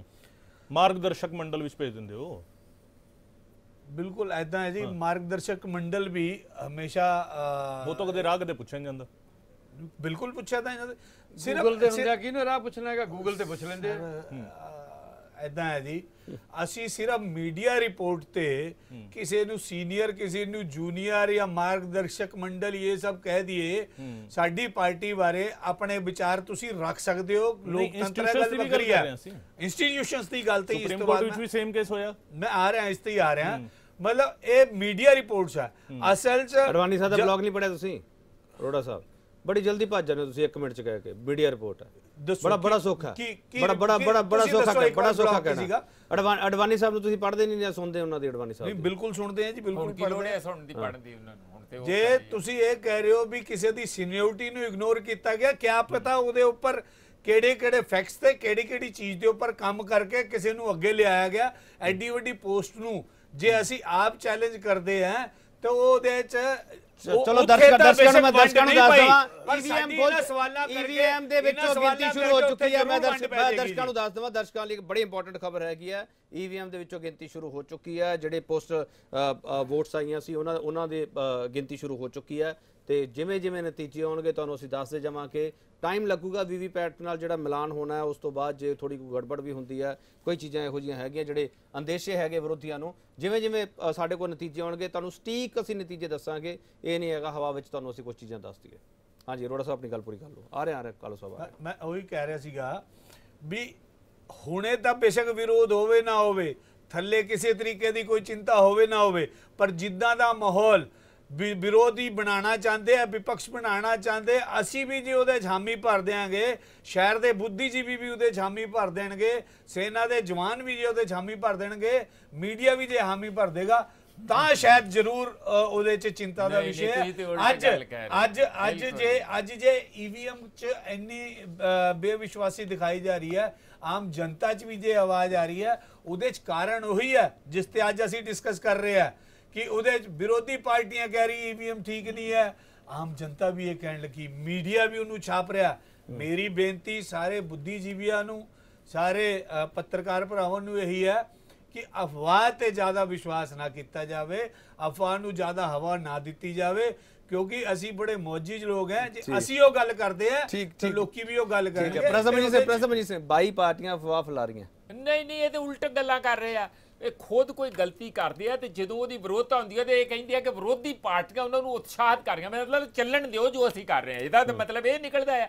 ਤੁਸੀਂ ਜਦ ਮੈਂ ਚੀਫ ਦੀ ਗੱਲ ਤੁਹਾਡੇ ਕੋਲ ਕਹੀ ਹੈ ਇਹ ਤੇ ਓਪਨ ਜਗ ਜਾ ਰਿਹਾ ਬੈਠੇ। ਕਾਲੋ ਸਾਹਿਬ ਦੇ ਇਹ ਦੱਸ ਦੇਣਗੇ। ਇਹ ਤੇ ਉਹਨਾਂ ਦਾ ਨਾਮ ਵੀ ਮੈਨੂੰ ਭੁੱਲ ਗਿਆ ਨਹੀਂ ਤੇ ਮੈਂ ਨਾਮ ਹੀ ਲੈਣਾ ਸੀ। ਪਰ ਇਹ ਫੈਕਟ ਆ ਕਿ ਉਹ ਕਿੰਨੇ ਚਿਰ ਦਾ ਚੱਲ ਰਿਹਾ ਕਿ ਤੁਸੀਂ ਇੱਕੋ ਜਿਹੇ ਜਿਹੜੇ ਲੈਵਲ ਤੋਂ ਤੁਸੀਂ ਜੇ ਤੁਸੀਂ ਡਿਪਟੀ ਤੋਂ ਚੁੱਕਣਾ ਆ ਤਾਂ ਫਿਰ ਉਹ ਜਿਹੜਾ ਸੀਨੀਅਰ ਮੋਸਟ ਉਹਨੂੰ ਲਾਓ ਤੁਸੀਂ। ਉਹ ਇਸ ਕਰਕੇ ਕੰਟੈਸਟ ਕਰ ਰਹੇ। Sir, ਨਾਟ ਓਨਲੀ ਦੈਟ ਪੂਰੀ service check ਹੁੰਦੀ ਹੈ ਮਨਜੀਤ ਜੀ, ਸਾਹਿਬ, ਸਰ ਪ੍ਰੋਫੈਸਰ ਸਾਹਿਬ ਕੀ ਕ੍ਰਾਈਟੇਰੀਆ ਕੌਣ ਬੈਠਿਆ ਇੱਕ ਮਿੰਟ ਸਰਵਿਸ ਦੇ ਉੱਪਰ ਕਈ ਟੈਕਨੀਕਲ ਇਸ਼ੂਜ਼ ਹੁੰਦੇ ਆ ਜਿਹਦੇ ਤੇ ਉਹਨੂੰ ਫਸਟ ਜਾਂ ਸੈਕਿੰਡ ਜੀ, ਕੀਤਾ ਜਾਂਦਾ। ਹਾਂਜੀ ਹਾਂਜੀ। ਇਹ ਵੀ ਜੀ ਗੱਲ ਇਹ ਐਡੀ ਵੱਡੀ ਪੋਸਟ ਤੇ ਐਦਾਂ ਨਹੀਂ ਲਗਾਇਆ ਜਾ ਸਕਦਾ। ਕਾਲੋ ਜੀ ਸੁਣੋ। ਗੱਲ ਇਹ ਵੇ ਕਿ ਇਸ ਤੋਂ ਪਹਿ ਹੁਣ ਥੋੜੇ ਦਿਨਾਂ ਦੀ ਗੱਲ ਦੱਸਦੇ ਦਿਆਂ। ਤਿੰਨ ਮੇਜਰ ਜਰਨਲ ਏਐਫਟੀ ਮੇ ਆਰਮ ਫੋਰਸ ਟ੍ਰਿਬਿਊਨਲ ਨੇ, ਉਹ ਬੋਰਡ ਕਰਤਾ ਦੂਜਿਆਂ ਦਾ। ਇਹਨਾਂ ਤਿੰਨਾਂ ਨੂੰ ਛੱਡਤਾ। ਉਹ ਛੱਡਤਾ ਕਾਦੇ ਵਾਸਤੇ? ਕਿਉਂਕਿ ਉਹਨਾਂ ਚੋਂ ਕੋਈ ਹੋ ਸਕਦਾ ਹੈ ਕਿ ਕੋਈ ਸਾਰੇ ਬਰਾਬਰ ਨੇ। ਤੇ ਉਹਨਾਂ ਨੇ ਆਦੇਸ਼ ਦਿੱਤੇ ਮਿਨਿਸਟਰੀ ਆਫ ਡਿਫੈਂਸ ਨੂੰ ਏਐਫਟੀ ਨੇ, ਕਿ ਇਹ ਜਿਹੜਾ ਰਿਜ਼ਲਟ ਤੁਸੀਂ ਪਹਿਲਾਂ ਤਿਆਰ ਕਰ ਰਹੇ ਹੋ ਤੇ ਰੋਕ ਲਾਈ ਜਾਏ। ਇਹਦੇ 'ਚ ਕੋਈ ਸ਼ੱਕ ਨਹੀਂ। ਮੇਜਰ ਜਨਰਲ ਬਲਕਿ ਬ੍ਰਿਗੇਡੀਅਰ ਤੋਂ ਬਾਅਦ ਵੀ ਇਹ ਇਹ ਸਾਰੀਆਂ ਫਾਈਲਾਂ ਬਣ ਜਾਂਦੀਆਂ ਨੇ। ਤੇ ਇਹਨਾਂ ਨੇ ਦੇਖਣਾ ਕਿ ਰੁਖ ਕਿੱਧਰ ਹੈ। ਸਾਰੀਆਂ ਸਿਆਸੀ ਪਾਰਟੀਆਂ ਐਕਚੁਅਲੀ ਕਰਦੀਆਂ ਨੇ ਇਹ ਕੰਮ। ਕਿ ਕਿਹੜਾ ਅੱਗੋਂ ਜਰਨੈਲ ਪਰ ਇਸ ਟਾਈਮ ਤੇ ਧੱਜੀਆਂ ਉਡਾਈਆਂ ਜਾ ਰਹੀਆਂ ਨੇ। ਇਹ ਹੁਣ ਜਿਹੜਾ ਕਿ ਕੰਮ ਹੋ ਰਿਹਾ ਸਾਰੇ ਕਰਦੇ me ਕਹਿ. ਸਾਹਿਬ। ਮੈਂ ਪਹਿਲਾਂ ਕਹਿ ਚੁੱਕਿਆ ਮੈਂ ਕਹਿਣ ਡਿਆ ਜਿਹੜੀ ਗੱਲ ਹੋ ਰਹੀ ਹੈ। ਜਨਰਲ ਰਣਜੀਤ ਆਪਣਾ ਦੇਖੋ ਹੁਣ ਸਰਜੀਕਲ ਸਟ੍ਰਾਈਕ ਦਾ ਬੜਾ ਰੌਲਾ ਪਿਆ। ਇਹ ਪਰਿਭਾਸ਼ਾ ਹੀ ਨਹੀਂ ਹੈਗੀ। ਹੁਣ ਉਹ ਸਰਜੀਕਲ ਸਟ੍ਰਾਈਕ ਉਸ ਸਮੇਂ ਦਾ ਡੀਜੀਐਮਓ ਇਹ ਕਹਿੰਦਾ ਰਣਵੀਰ ਸਿੰਘ ਕਿ ਇਸ ਤੋਂ ਪਹਿਲਾਂ ਆਰਟੀਆਈ ਥੱਲੇ ਕਦੀ ਸਰਜੀਕਲ ਸਟ੍ਰਾਈਕ ਹੋਈ ਨਹੀਂ ਮੰਨ ਲਈ 2016 ਚ ਹੋਈ, ਗੱਲ ਇਹ ਗੱਲ ਉਹਨੇ ਇਹ ਕਿਹਾ- ਗੱਲ ਉਹਨੇ ਮੰਨ ਲਈ ਕਿਹਾ ਗੱਲ 2016 ਮੰਨ ਲਈ ਗੱਲ ਕਿ ਇਸ ਕਿਸਮ ਦੀ ਇਸ ਲੈਵਲ ਦੀ ਜਿਹਦੀ ਕੋਆਰਡੀਨੇਸ਼ਨ 250 ਕਿਲੋਮੀਟਰ ਦੇ 5 5 7 ਗਈਆਂ ਹੋਣ ਫੌਜਾਂ ਉਹ ਗੱਲ ਵੱਖਰੀ ਹੈ ਮਗਰ ਇਹ ਸਪੈਸ਼ਲ ਆਪਰੇਸ਼ਨ ਇਹ ਕਰਦੇ ਰਹੇ ਆ ਉਹ ਜਰਨਲ ਜਿਹਨੂੰ ਕਿ ਅਵਾਰਡ ਮਿਲੇ ਨੇ ਕਰ ਚੁੱਕੇ ਨੇ ਉਹ ਬੋਲ ਚੁੱਕਿਆ ਉਹ ਕਾਂਗਰਸ ਦਾ ਤੇ ਨਹੀਂ ਹੈਗਾ ਉਹ ਆਮ ਆਦਮੀ ਪਾਰਟੀ ਦਾ ਨਹੀਂ ਹੈਗਾ ਇੱਕ ਜਰਨਲ ਜਿਹਨੇ ਕਿ ਉੱਥੇ ਕੀਤੇ ਨੇ ਸਪੈਸ਼ਲ ਆਪਰੇਸ਼ਨ ਕਿਹਾ ਜਾਂਦਾ ਹੈ। ਇਹਨੂੰ ਰੇਡ ਕਿਹਾ ਜਾਂਦਾ ਹੈ। ਐਕਸਟੈਂਸ਼ਨ ਆਫ ਰੇਡਸ ਇਹ ਹੁੰਦੀਆਂ ਰਹੀਆਂ ਨੇ ਪਹਿਲਾਂ। ਅਸੀਂ ਕਰਦੇ ਰਹੇ ਹੁਣ ਤੇ ਤਾਰਾਂ ਲੱਗ ਗਈਆਂ। ਸਭ ਕੁਝ ਕੀਤੇ ਨੇ ਇਹੋ ਜਿਹੀਆਂ ਗੱਲਾਂ ਮੈਂ ਪਹਿਲਾਂ ਵੀ ਕਹਿ ਚੁੱਕਿਆ ਕੇਪੀ ਸਿੰਘ ਜੀ। ਮੈਂ ਉਹ ਗੱਲ ਅੱਜ ਵੀ ਨਹੀਂ ਕਰਨਾ ਚਲੋ ਇਹ ਚਾਹੁੰਦਾ ਜਿਹੜੇ ਦੱਸ ਦਈਏ ਕਾਂਗਰਸ ਦਫ਼ਤਰ ਵਿੱਚ ਕਾਊਂਟਿੰਗ ਤੋਂ ਪਹਿਲਾਂ ਹਵਨ ਹੋ ਰਿਹਾ ਹੈ। ਲੋਕ ਸਭਾ ਚੋਣਾਂ ਲਈ ਵੋਟਾਂ ਦੀ ਗਿਣਤੀ ਸ਼ੁਰੂ ਹੋ ਚੁੱਕੀ ਹੈ। ਲੋ ਲੋ ਲੋ ਹਵਨ- ਸ਼ੁਰੂ ਹੋ ਚੁੱਕੇ ਹੈ। ਹਵਨ ਸ਼ੁਰੂ ਹੋ ਹੋ। ਚੁੱਕੀ ਹੈ। ਉਮੀਦ ਇਹਨੂੰ ਕੀ ਕਹੋਗੇ? ਉਮੀਦਵਾਰਾਂ ਹੁਣ ਦਿਲਾਂ ਦੇ ਧੜਕਣਾਂ ਤੇਜ਼ ਹੋ ਮੈਂ ਆਪਣੇ ਚੁੱਕੀਆਂ ਕਾਂਗਰਸ ਦੇ ਵੱਡੇ- ਵੱਡੇ ਵੀਰ ਨੂੰ ਪੁੱਛਾਂਗਾ। ਹੁਣ ਹਵਨ ਹੋ ਰਿਹਾ। ਹੁਣ ਇਹਨੂੰ ਕੀ ਕਹਿਣਗੇ? ਕਾਲਾ ਜਾਦੂ ਕਹਿਣਗੇ? ਮੇਰੇ ਵੱਡੇ ਵੀਰ ਕਾਲਾ ਜਾਦੂ ਸਾਹਿਬ ਕਹਿਣਗੇ ਇਹਨੂੰ? ਕਿੰਗਰਾ ਸਾਹਿਬ। ਵੈਸੇ ਮੈਂ ਇਸ ਬਹਿਸ ਵਿੱਚ ਜਾਣਾ ਨਹੀਂ ਚਾਹੁੰਦਾ ਸੀਗਾ ਹੁਣ- ਪਰ ਹੁਣ ਬੜਾ ਕਹਿ ਰਹੇ ਸੀਗੇ। ਤੁਸੀਂ ਤੁਸੀਂ ਆਪ ਹੀ ਸਵਾਲ ਪੁੱਛਦੇ ਪਏ ਸੀ ਹੁਣ ਆਪ ਹੀ ਤੁਸੀਂ ਜਵਾਬ ਸਵਾਲ ਕੀਤਾ ਸੀ ਜਨਾਬ ਹੁਣ ਆਪ ਹੀ ਤੁਸੀਂ ਤੇ ਜਵਾਬ ਮੈਥੋਂ ਲਓ ਤੁਸੀਂ ਆਪ ਹੀ ਆਪੇ. ਆਪੇ ਬੀਬੀ ਮੱਥਾ ਟੇਕੇ ਆਪੇ ਬੁੱਢ ਸੁਹਾਗੇ ਆਪਾਂ ਉਹੀ ਕਹਿ ਰਹੇ ਹਾਂ ਆਪ ਹੀ ਬੋਲੀ ਜਾਂਦੇ ਹੋ, ਜਵਾਬ ਵੀ ਆਪ ਹੀ ਦੇਈ ਜਾਂਦੇ ਸਵਾਲ ਪੁੱਛ ਲਿਆ ਤਾਂ ਹੁਣ ਸੁਣ ਤੁਸੀਂ ਡਾਇਲੌਗ ਸੁਣ ਲਓ। ਸਵਾਲ ਮੇਰਾ ਸੁਣ ਲਓ। ਦੇਖੋ ਜਦੋਂ ਨਹੀਂ ਸਵਾਲ ਨਹੀਂ ਸੁਣਨਾ ਸਰ ਜਵਾਬ ਸੁਣਨਾ। ਹਾਂ ਮੇਰਾ ਜਵਾਬ ਸੁਣ ਲਓ। ਮੇਰਾ ਜਵਾਬ ਇਹ ਹੈ ਮੈਂ ਪਹਿਲਾਂ ਵੀ ਤੁਹਾਨੂੰ ਕਹਿ ਚੁੱਕਿਆਗਾ ਜਦੋਂ ਆਫ ਕੈਮਰਾ ਸੀਗਾ ਕਿ ਜਦੋਂ ਕੋਈ ਸਮਾਜ ਦੇ ਵਿੱਚ ਇੱਕ ਬੜੀ ਕੋਸ਼ਿਸ਼ ਕਰਕੇ ਨੇਤਾਵਾਂ ਵੱਲੋਂ ਨਿਗਾਰ ਲਿਆਂਦਾ ਜਾਂਦਾ ਹੈ ਤੇ ਉਹਦੇ 'ਚ ਕੋਈ ਸੰਸਥਾ ਬਚਦੀ ਨਹੀਂ। ਉਹਦੇ 'ਚ ਹਰ ਸੰਸਥਾ ਨੂੰ ਥੋੜਾ ਬਹੁਤ ਸੇਕ ਲੱਗਦਾ ਹੈ। ਤੁਸੀਂ ਇੱਕ ਕਰਪਟ ਸੁਸਾਇਟੀ ਸੋਚਦੇ ਹੋ, ਪੁਲਿਸ ਅਫਸਰ ਇਮਾਨਦਾਰ ਹੋਵੇ। ਯਾਰੋ ਜਦੋਂ ਸੁਸਾਇਟੀ ਕਰਪਟ ਹੋ ਚੁੱਕੀ ਹੈ ਪੁਲਿਸ ਅਫਸਰ ਇਮਾਨਦਾਰ ਕਿਵੇਂ ਹੋਵੇਗਾ ਸਮਝਿਆ ਨਹੀਂ ਇਹਨੂੰ ਤੁਸੀਂ ਕਰਪਟ ਕਹਿ ਰਹੇ ਹੋ ਆਪਣੀ ਕਾਂਗਰਸ ਨੂੰ ਦੇਖੋ ਮੈਂ ਕੀ ਕਹਿਣਾ ਚਾਹੁੰਦੇ ਹੋ? ਮੈਨੂੰ ਤੁਸੀਂ ਸਮਝ ਬੋਲੀ ਜਾਂਦੇ ਹੋ ਯਾਰ ਤੁਸੀਂ ਯੂ ਆਰ ਆਈ ਐਜੂਕੇਟਡ ਹੋ। ਪਰਸਨ ਮੈਂ ਕਾਂਗਰਸ ਉਹੀ ਨੂੰ ਤਾਂ ਕਰਪਟ ਕਹਿ- ਆਖਿਆ ਉਹੀ ਤਾਂ ਮੈਂ ਕਹਿ ਰਿਹਾ ਕਿੰਗਰਾ ਸਾਹਿਬ ਇੱਕ ਮਿੰਟ ਇੱਕ ਮਿੰਟ ਅਰੋੜਾ ਸਾਹਿਬ ਅਰੋੜਾ ਸਾਹਿਬ ਇੱਕ ਮਿੰਟ ਇੱਕ ਮਿੰਟ ਇੱਕ ਮਿੰਟ ਇੱਕ Is minute it the Kingra rational way of ਸਾਹਿਬ ਨਹੀਂ, discussing? Did I say Congress corrupt है? ਕਿੰਗਰਾ ਸਾਹਿਬ ਕੀ ਕਿਹਾ What are you ਤੁਸੀਂ? doing? BJP is more corrupt than anyone else. Kingra ਸਾਹਿਬ ਲਾਹੌਰ ਲੋ ਮੈਂ ਤੋਂ ਕਿੰਗਰਾ ਸਾਹਿਬ Why are you talking like Kingra this? ਸਾਹਿਬ ਇੱਕ minute ਇਦਾਂ ਇਦਾਂ ਇਦਾਂ ਨਹੀਂ ਗੱਲ ਬਣੂਗੀ is Kingra not the Kingra way. ਸਾਹਿਬ ਕਿੰਗਰਾ ਸਾਹਿਬ ਸਵਾਲ ਬੜਾ I say Congress Kingra? Kingra ਸਾਹਿਬ? ਕਿੰਗਰਾ ਸਾਹਿਬ ਕਿੰਗਰਾ ਸਾਹਿਬ ਤੁਸੀਂ ਕਿਹਾ ਵੀ ਸੋਸਾਇਟੀ ਵਿੱਚ ਜਿਹੜੀਆਂ ਚੀਜ਼ਾਂ ਆਉਣ ਲੱਗ ਪਈਆਂ ਹੈਗੀਆਂ ਇਹ ਬਹੁਤ ਫਿਰ ਸਰ ਸੁਣ ਤਾਂ ਸਾਰੇ ਲੋ ਦੇ ਸੁਣ ਤਾਂ ਲੋ ਕਿੰਗਰਾ ਸਾਹਿਬ ਬਹੁਤ ਸੁਣ ਤਾਂ ਲੋ ਨਾ ਇਹਦਾ ਮਤਲਬ ਜੋ ਸੋਸਾਇਟੀ ਵਿੱਚ ਬੀਜੇਪੀ ਲੈ ਕੇ ਆ ਰਹੀ ਹੈ, ਉਹਦਾ ਅਸਰ ਕਾਂਗਰਸ ਤੇ ਹੋ ਰਿਹਾ ਹੈ। ਜਦ ਕਿ ਕਾਂਗਰਸ, ਸੁਣ ਤਾਂ ਲਓ, ਸਵਾਲ ਤਾਂ ਸੁਣ ਲਓ। ਜਦ ਕਿ ਕਾਂਗਰਸ ਆਪਣੀ ਵਿਚਾਰਧਾਰਾ ਛੱਡ ਕੇ ਬੀਜੇਪੀ ਦੀ ਵਿਚਾਰਧਾਰਾ ਦੇ ਮਗਰ ਲੱਗੀ ਹੈ, ਤੁਹਾਡੇ ਤੇ ਇਲਜ਼ਾਮ ਇਹ ਲੱਗਦਾ ਪਿਆ ਜਵਾਬ ਦੇ ਦਿਓ। ਨਹੀਂ, ਬਿਲਕੁਲ ਦੇਖੋ, ਇਸ ਤਰ੍ਹਾਂ ਹੈ, ਕਾਂਗਰਸ ਪਾਰਟੀ ਜਿਹੜੀ ਆ, ਉਹ ਕਿਸੇ ਵਿਚਾਰਧਾਰਾ ਦੇ ਮਗਰ ਨਹੀਂ ਲੱਗਦੀ। ਕਾਂਗਰਸ ਪਾਰਟੀ ਭਾਰਤ ਦਾ ਸਭ ਤੋਂ ਪੁਰਾਣਾ ਸਿਆਸੀ ਸੰਸਥਾ ਹੈ, ਸਭ ਤੋਂ ਪੁਰਾਣੀ। ਔਰ ਇਹਨੂੰ ਇਹਨੂੰ ਫਾਊਂਡ ਕਰਨ ਵਾਲੇ ਬੰਦੇ ਜਿਹੜੇ ਆ, ਉਹ ਵੀ ਅੰਗਰੇਜ਼ ਸੀਗੇ, ਉੱਥੋਂ ਚੱਲੀ ਸੀ ਇਹ। ਇਸ ਕਰਕੇ ਇਹ ਸੰਸਥਾ ਜਿਹੜੀ ਹੈ ਇਹ ਤੋਂ ਲੋਕਾਂ ਨੇ ਸਿਆਸਤ ਸਿੱਖੀ ਹੈ। ਇਹਨੇ ਨਹੀਂ ਸਿੱਖੀ ਕਿਸੇ ਤੋਂ। ਇਹਦੇ ਚ ਕੋਈ ਇਹਨੂੰ ਸਿੱਖ ਰਹੇ ਹੈ। ਸੋ ਇਸ ਕਰਕੇ ਇਹ ਕਹਿਣਾ ਕਿ ਅਸੀਂ ਬੀਜੇਪੀ ਤੋਂ ਸਿੱਖਾਂਗੇ ਅਸੀਂ ਕੀ ਸਿੱਖਾਂਗੇ ਬੀਜੇਪੀ ਤੋਂ? ਅਸੀਂ ਸਿੱਖਾਂਗੇ ਆਰਮੀ ਨੂੰ ਪੋਲਿਟਿਸਾਈਜ਼ ਕਰਨਾ ਬੀਜੇਪੀ ਤੋਂ ਸਿੱਖਾਂਗੇ। ਅਸੀਂ ਸ- 50 ਸਾਲਾਂ 'ਚ ਨਹੀਂ ਕੀਤੀ ਅਸੀਂ ਕਦੇ ਆਰਮੀ ਪੋਲਿਟਿਸਾਈਜ਼ ਅਸੀਂ ਬੀਜੇਪੀ ਤੋਂ ਸਿੱਖਾਂਗੇ ਅਸੀਂ ਇੰਸਟੀਟਿਊਸ਼ਨ ਸੀਬੀਆਈ ਨੂੰ ਡੀਜਨਰੇਟ ਕਰਨਾ ਸਿੱਖਾਂਗੇ। ਅਸੀਂ 50 ਸਾਲਾਂ ਦਾ ਨਹੀਂ ਕੀਤਾ ਡੀਜਨਰੇਟ ਤੁਹਾਡੇ- ਤੁਹਾਡੇ ਰਾਜ ਵਿੱਚ- ਤੁਹਾਡੇ ਰਾਜ ਵਿੱਚ ਕੋਰਟ ਨੇ ਟਿੱਪਣੀ ਕੀਤੀ ਸੀ ਕਈ ਵਾਰੀ। ਪਾਰਟੀ ਦੇ ਭੁੱਲ ਜਾਂਦੇ ਤੁਸੀਂ ਵੇਲੇ ਸਾਹਿਬ। ਟੀਐਨ ਸੈਸ਼ਨ ਵਰਗਾ ਇਲੈਕਸ਼ਨ ਕਮਿਸ਼ਨ ਪੈਦਾ ਕੀਤਾ ਸੀ ਮਨੋਹਰ ਸਿੰਘ ਗਿੱਲ ਵਰਗਾ ਇਲੈਕਸ਼ਨ ਕਮਿਸ਼ਨ ਪੈਦਾ ਕੀਤਾ ਜਿਨ੍ਹਾਂ ਦੇ ਕਰੈਕਟਰ ਦੇ ਉੱਤੇ ਕੋਈ ਬੰਦਾ ਆਵਾਜ਼ ਨਹੀਂ ਉਠਾ ਸਕਦਾ। ਕੀ ਗੱਲਾਂ ਕਰਦੇ ਹੋ ਤੁਸੀਂ ਕਾਂਗਰਸ ਦੀਆਂ? ਕਾਂਗਰਸ ਨੇ ਨੈਸ਼ਨਲਾਈਜੇਸ਼ਨ ਕੀਤੀ ਬੈਂਕਾਂ ਦੀ। ਕਾਂਗਰਸ ਨੇ ਇੱਥੇ ਸਾਰੇ ਦਾ ਸਾਰਾ ਲੈਂਡ ਰਿਫਾਰਮ ਕੀਤੇ ਦੇਸ਼ ਦੇ ਵਿੱਚ।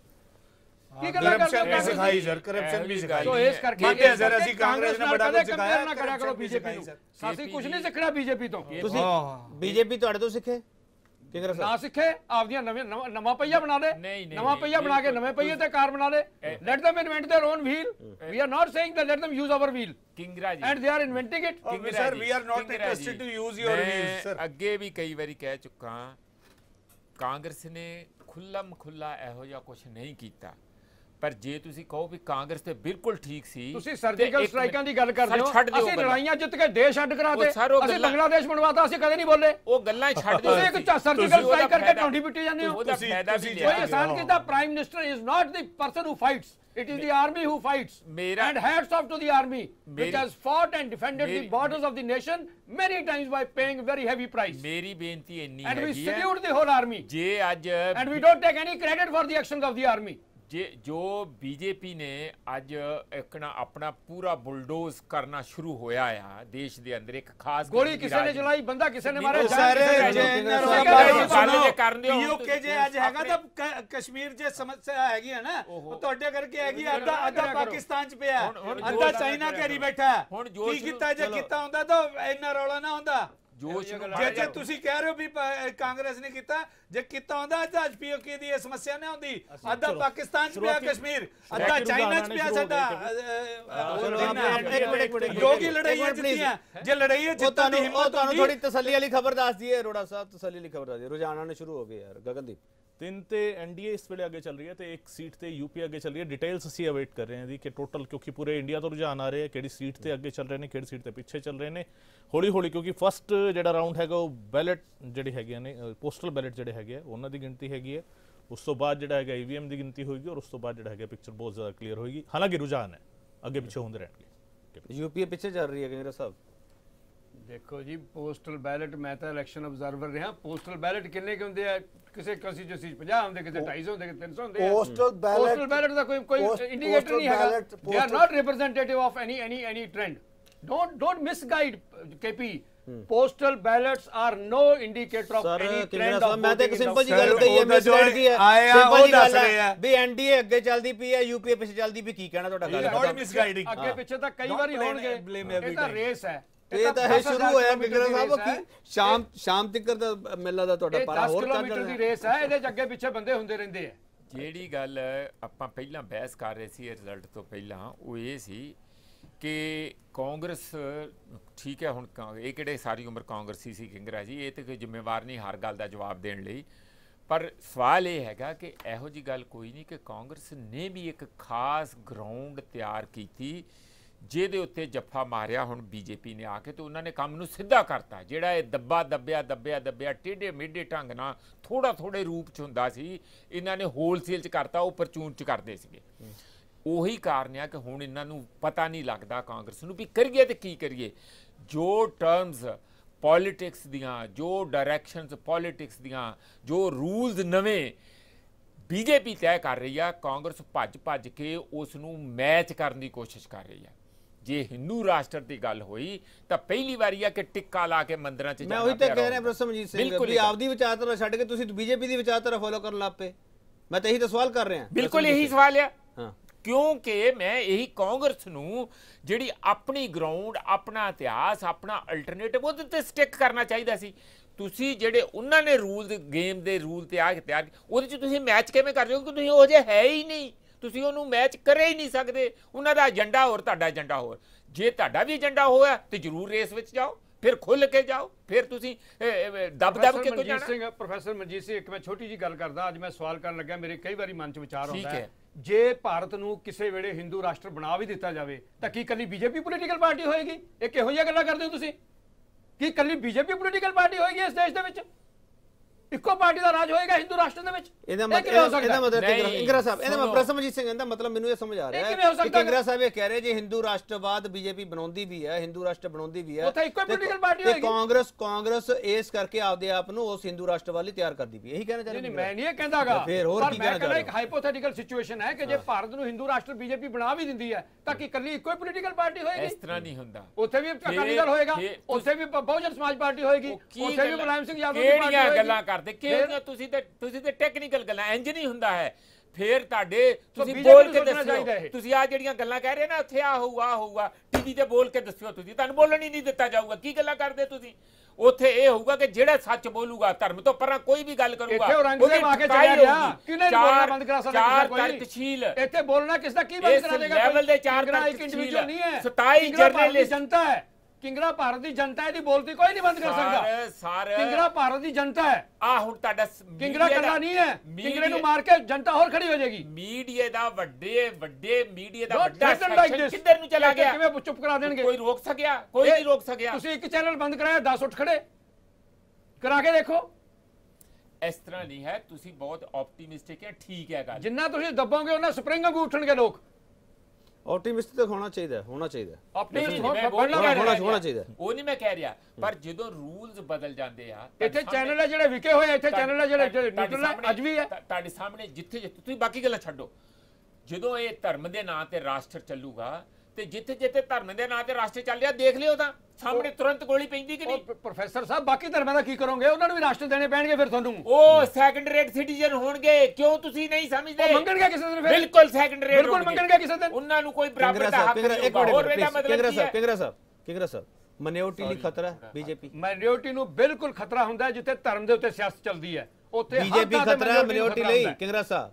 ਬੀਜੇਪੀ ਖਤਰਾ ਮਨਿਓਰਟੀ ਜੇ ਬੀਜੇਪੀ ਧਰਮ ਦੀ ਸਿਆਸਤ ਨਹੀਂ ਛੱਡਦੀ ਤਾਂ ਸਾਰੀਆਂ ਮਾਈਨੋਰਟੀਜ਼ ਨੂੰ ਖਤਰਾ ਹੈ ਬੀਜੇਪੀ ਤੋਂ ਕਾਂਗਰਸ ਤੋਂ ਕਾਂਗਰਸ ਤੋਂ ਕੋਈ ਖਤਰਾ ਨਹੀਂ ਸਾਡੀ ਸੈਕੂਲਰ ਪਾਰਟੀ। ਹੈ ਕਿੰਗਰਾ ਸਾਹਿਬ ਕਾਂਗਰਸ ਤੋਂ ਕੋਈ ਖਤਰਾ ਨਹੀਂ ਸਾਡੀ ਸੈਕੂਲਰ। ਪਾਰਟੀ ਹੈ ਇਹ ਇਹੀ ਇਹੀ ਕਾਂਗਰਸ ਹੈ। Secular ਤੇ ਇਹੀ ਹੈ ਕਾਂਗਰਸ ਇਹੀ? ਕਾਂਗਰਸ ਹੈ ਜਿਨ੍ਹਾਂ ਨੇ 84 ਕੀਤਾ ਸੀਗਾ। 84 ਮਾਫ ਕਰਨਾ ਮੈਨੂੰ ਲੈ ਕੇ ਆ ਸੀ, ਰਹੇ ਉਸ ਤੋਂ ਬਾਅਦ ਬਿਆਨ ਦੇ ਰਿਹਾ ਹੁਆ ਤਾਂ ਹੁਆ ਇੱਕ ਮਿੰਟ ਪਲੀਜ਼ ਉਸ ਤੋਂ ਮਾਫ ਬਾਅਦ ਕਰਨਾ ਬਿਆਨ ਦੇ। ਲੈ ਕੇ ਆਉਣਾ ਪੈ ਰਿਹਾ ਉਸ ਤੋਂ ਉਸ ਤੋਂ ਬਾਅਦ ਬਿਆਨ ਦੇ ਰਿਹਾ ਹੁਆ ਤਾਂ ਹੁਆ ਉਸੇ 84 ਦੇ ਵਿੱਚ 48 ਬੰਦੇ ਆਰਐਸਐਸ ਦੇ ਆ ਜਿਨ੍ਹਾਂ ਦੇ ਉੱਤੇ ਮੁਕੱਦਮੇ ਚੱਲਦੇ ਆ। ਉਹਨਾਂ ਨੂੰ ਪੁੱਛੋ ਯਾਨੀ ਕਿ ਦੋਨਾਂ ਨੇ? ਰਲ ਕੇ ਕੀਤਾ। ਜਿਹੜੇ ਆਰਐਸਐਸ ਦੇ ਬੰਦੇ। ਕੌਣ ਤੁਸੀਂ ਸੀਗਾ? justify ਕਰ ਰਹੇ ਹੋ ਇਸ ਗੱਲ ਨੂੰ। ਰਾਜੀਵ ਗਾਂਧੀ ਨੂੰ ਮੁੱਕਰ ਰਿਹਾ ਜਿਨ੍ਹਾਂ ਨੇ ਸ਼ਰੇਆਮ ਕਿਹਾ ਦੋਨਾਂ ਨੇ ਰਲ ਕੇ ਕੀਤਾ। ਕਿੰਗਰਾ ਸਾਹਿਬ ਦੋਨਾਂ ਨੇ ਰਲ ਕੇ ਕੀਤਾ। ਜਸਟੀਫਾਈ ਕਰ ਰਹੇ ਹੋ ਇਸ ਗੱਲ ਨੂੰ ਤੁਸੀਂ। ਮੈਂ ਇਹਦੇ ਤੇ ਪਹਿਲਾਂ ਵੀ ਕਈ ਵਾਰੀ ਕਹਿ ਚੁੱਕਿਆ ਕਈ ਓਵਰ ਇੰਥੂਸੀਅਸਟਿਕ ਕਾਂਗਰਸੀਆਂ ਨੇ ਗਲਤੀ ਕੀਤੀ ਹੈ ਔਰ ਉਹ ਭੁਗਤਣਗੇ ਉਹਨਾਂ ਨੂੰ ਸਜ਼ਾ ਮਿਲਣੀ ਚਾਹੀਦੀ ਹੈ। ਸਰ ਉਹ ਕਈ ਨਹੀਂ। ਉਸ। ਟਾਈਮ ਤੁਹਾਡਾ ਪ੍ਰਧਾਨ ਮੰਤਰੀ ਸੀ ਰਾਜੀਵ ਗਾਂਧੀ। ਅਰੋੜਾ ਸਾਹਿਬ ਗੁਜਰਾਤ ਤੁਸੀਂ ਵੀ ਗਲਤੀ ਕੀਤੀ ਹੈ। ਗੁਜਰਾਤ ਤੁਸੀਂ ਹੋਇਆ। ਗਲਤੀ ਕੀਤੀ ਹੈ ਮੈਂ- ਨਾ। ਮੈਂ- ਮੈਂ ਤੁਸੀਂ ਵੀ ਐਡਮਿਟ ਕਰੋ ਨਾ ਮੈਂ ਫਿਰ। ਗੁਜਰਾਤ ਬਰੀਫ ਕਰ ਦਿੰਨਾ ਸਰ। ਜੇ ਗਲਤਫਹਿਮੀ ਹੈ। ਜੇ ਕੋਈ ਗਲਤਫਹਿਮੀ ਮੈਂ ਬਰੀਫ ਕਰ ਦਿੰਨਾ ਦੋਨੋਂ ਉਹ ਕਹਿੰਦੇ 84 ਕੀਤਾ ਤੁਸੀਂ 2002 ਤੇ ਤੁਹਾਡੇ ਇਲਜ਼ਾਮ ਮੈਂ ਲੱਗਦੇ ਆ। ਬਰੀਫ ਕਰ ਦਿੰਨਾ ਇਹ ਬਰੀਫ ਨਹੀਂ ਕਰ ਸਕਦੇ। ਮੈਂ ਬਰੀਫ ਕਰ ਸਕਦਾ ਗੋਦਰਾ ਨੂੰ ਹੁਣ ਵੀ। ਜਿਹੜਾ ਗੋਦਰਾ ਚ ਹੋਇਆ ਉਹਦੇ ਚ 24 ਘੰਟੇ ਦੇ ਅੰਦਰ ਆਰਮੀ ਲੱਗੀ ਸੀ ਜਿਹੜਾ ਗੋਦਰਾ ਚ ਜਨਰਲ ਦਾ ਜੇ ਬਿਆਨ ਕਿਸੇ ਨੇ ਹੈ। ਕੀਤਾ ਇੱਕ ਮਿੰਟ ਜਨਰਲ ਦਾ ਬਿਆਨ ਹੈ ਕਿ ਸੁਣੋ ਮੈਂ- ਸੁਣਨ ਮੈਂ- ਦਾ ਹੌਸਲਾ ਰੱਖੋ ਨਹੀਂ, ਸਰ ਨਹੀਂ। ਕਿੰਗਰਾ ਸਾਹਿਬ ਇੱਕ ਸੁਣਨ ਦਾ break- ਹੌਸਲਾ ਇੱਕ break ਰੱਖੋ ਲੈਣਾ ਇੱਕ ਬ੍ਰੇਕ ਲੈਣਾ ਛੋਟਾ ਸੁਣਨ ਦਾ ਹੌਸਲਾ ਇੱਕ ਰੱਖੋ ਬ੍ਰੇਕ ਲੈਣਾ ਛੋਟਾ ਜਿਹਾ ਇੱਕ ਛੋਟਾ ਜਨਰਲ ਦਾ ਛੋਟਾ ਬਿਆਨ ਛੋਟਾ ਸਵਾਲ ਕਰੋ। ਇੱਕ ਛੋਟਾ ਜਿਹਾ ਬ੍ਰੇਕ ਸੁਣਨ ਦਾ ਹੌਸਲਾ ਅਰੋੜਾ ਰੱਖੋ। ਸਾਹਿਬ ਅਰੋੜਾ ਸਾਹਿਬ ਕਿੰਗਰਾ ਸਾਹਿਬ ਇੱਕ ਮਿੰਟ ਪਲੀਜ਼ ਗੱਡੀਆਂ ਨਹੀਂ ਆਈਆਂ ਇੱਕ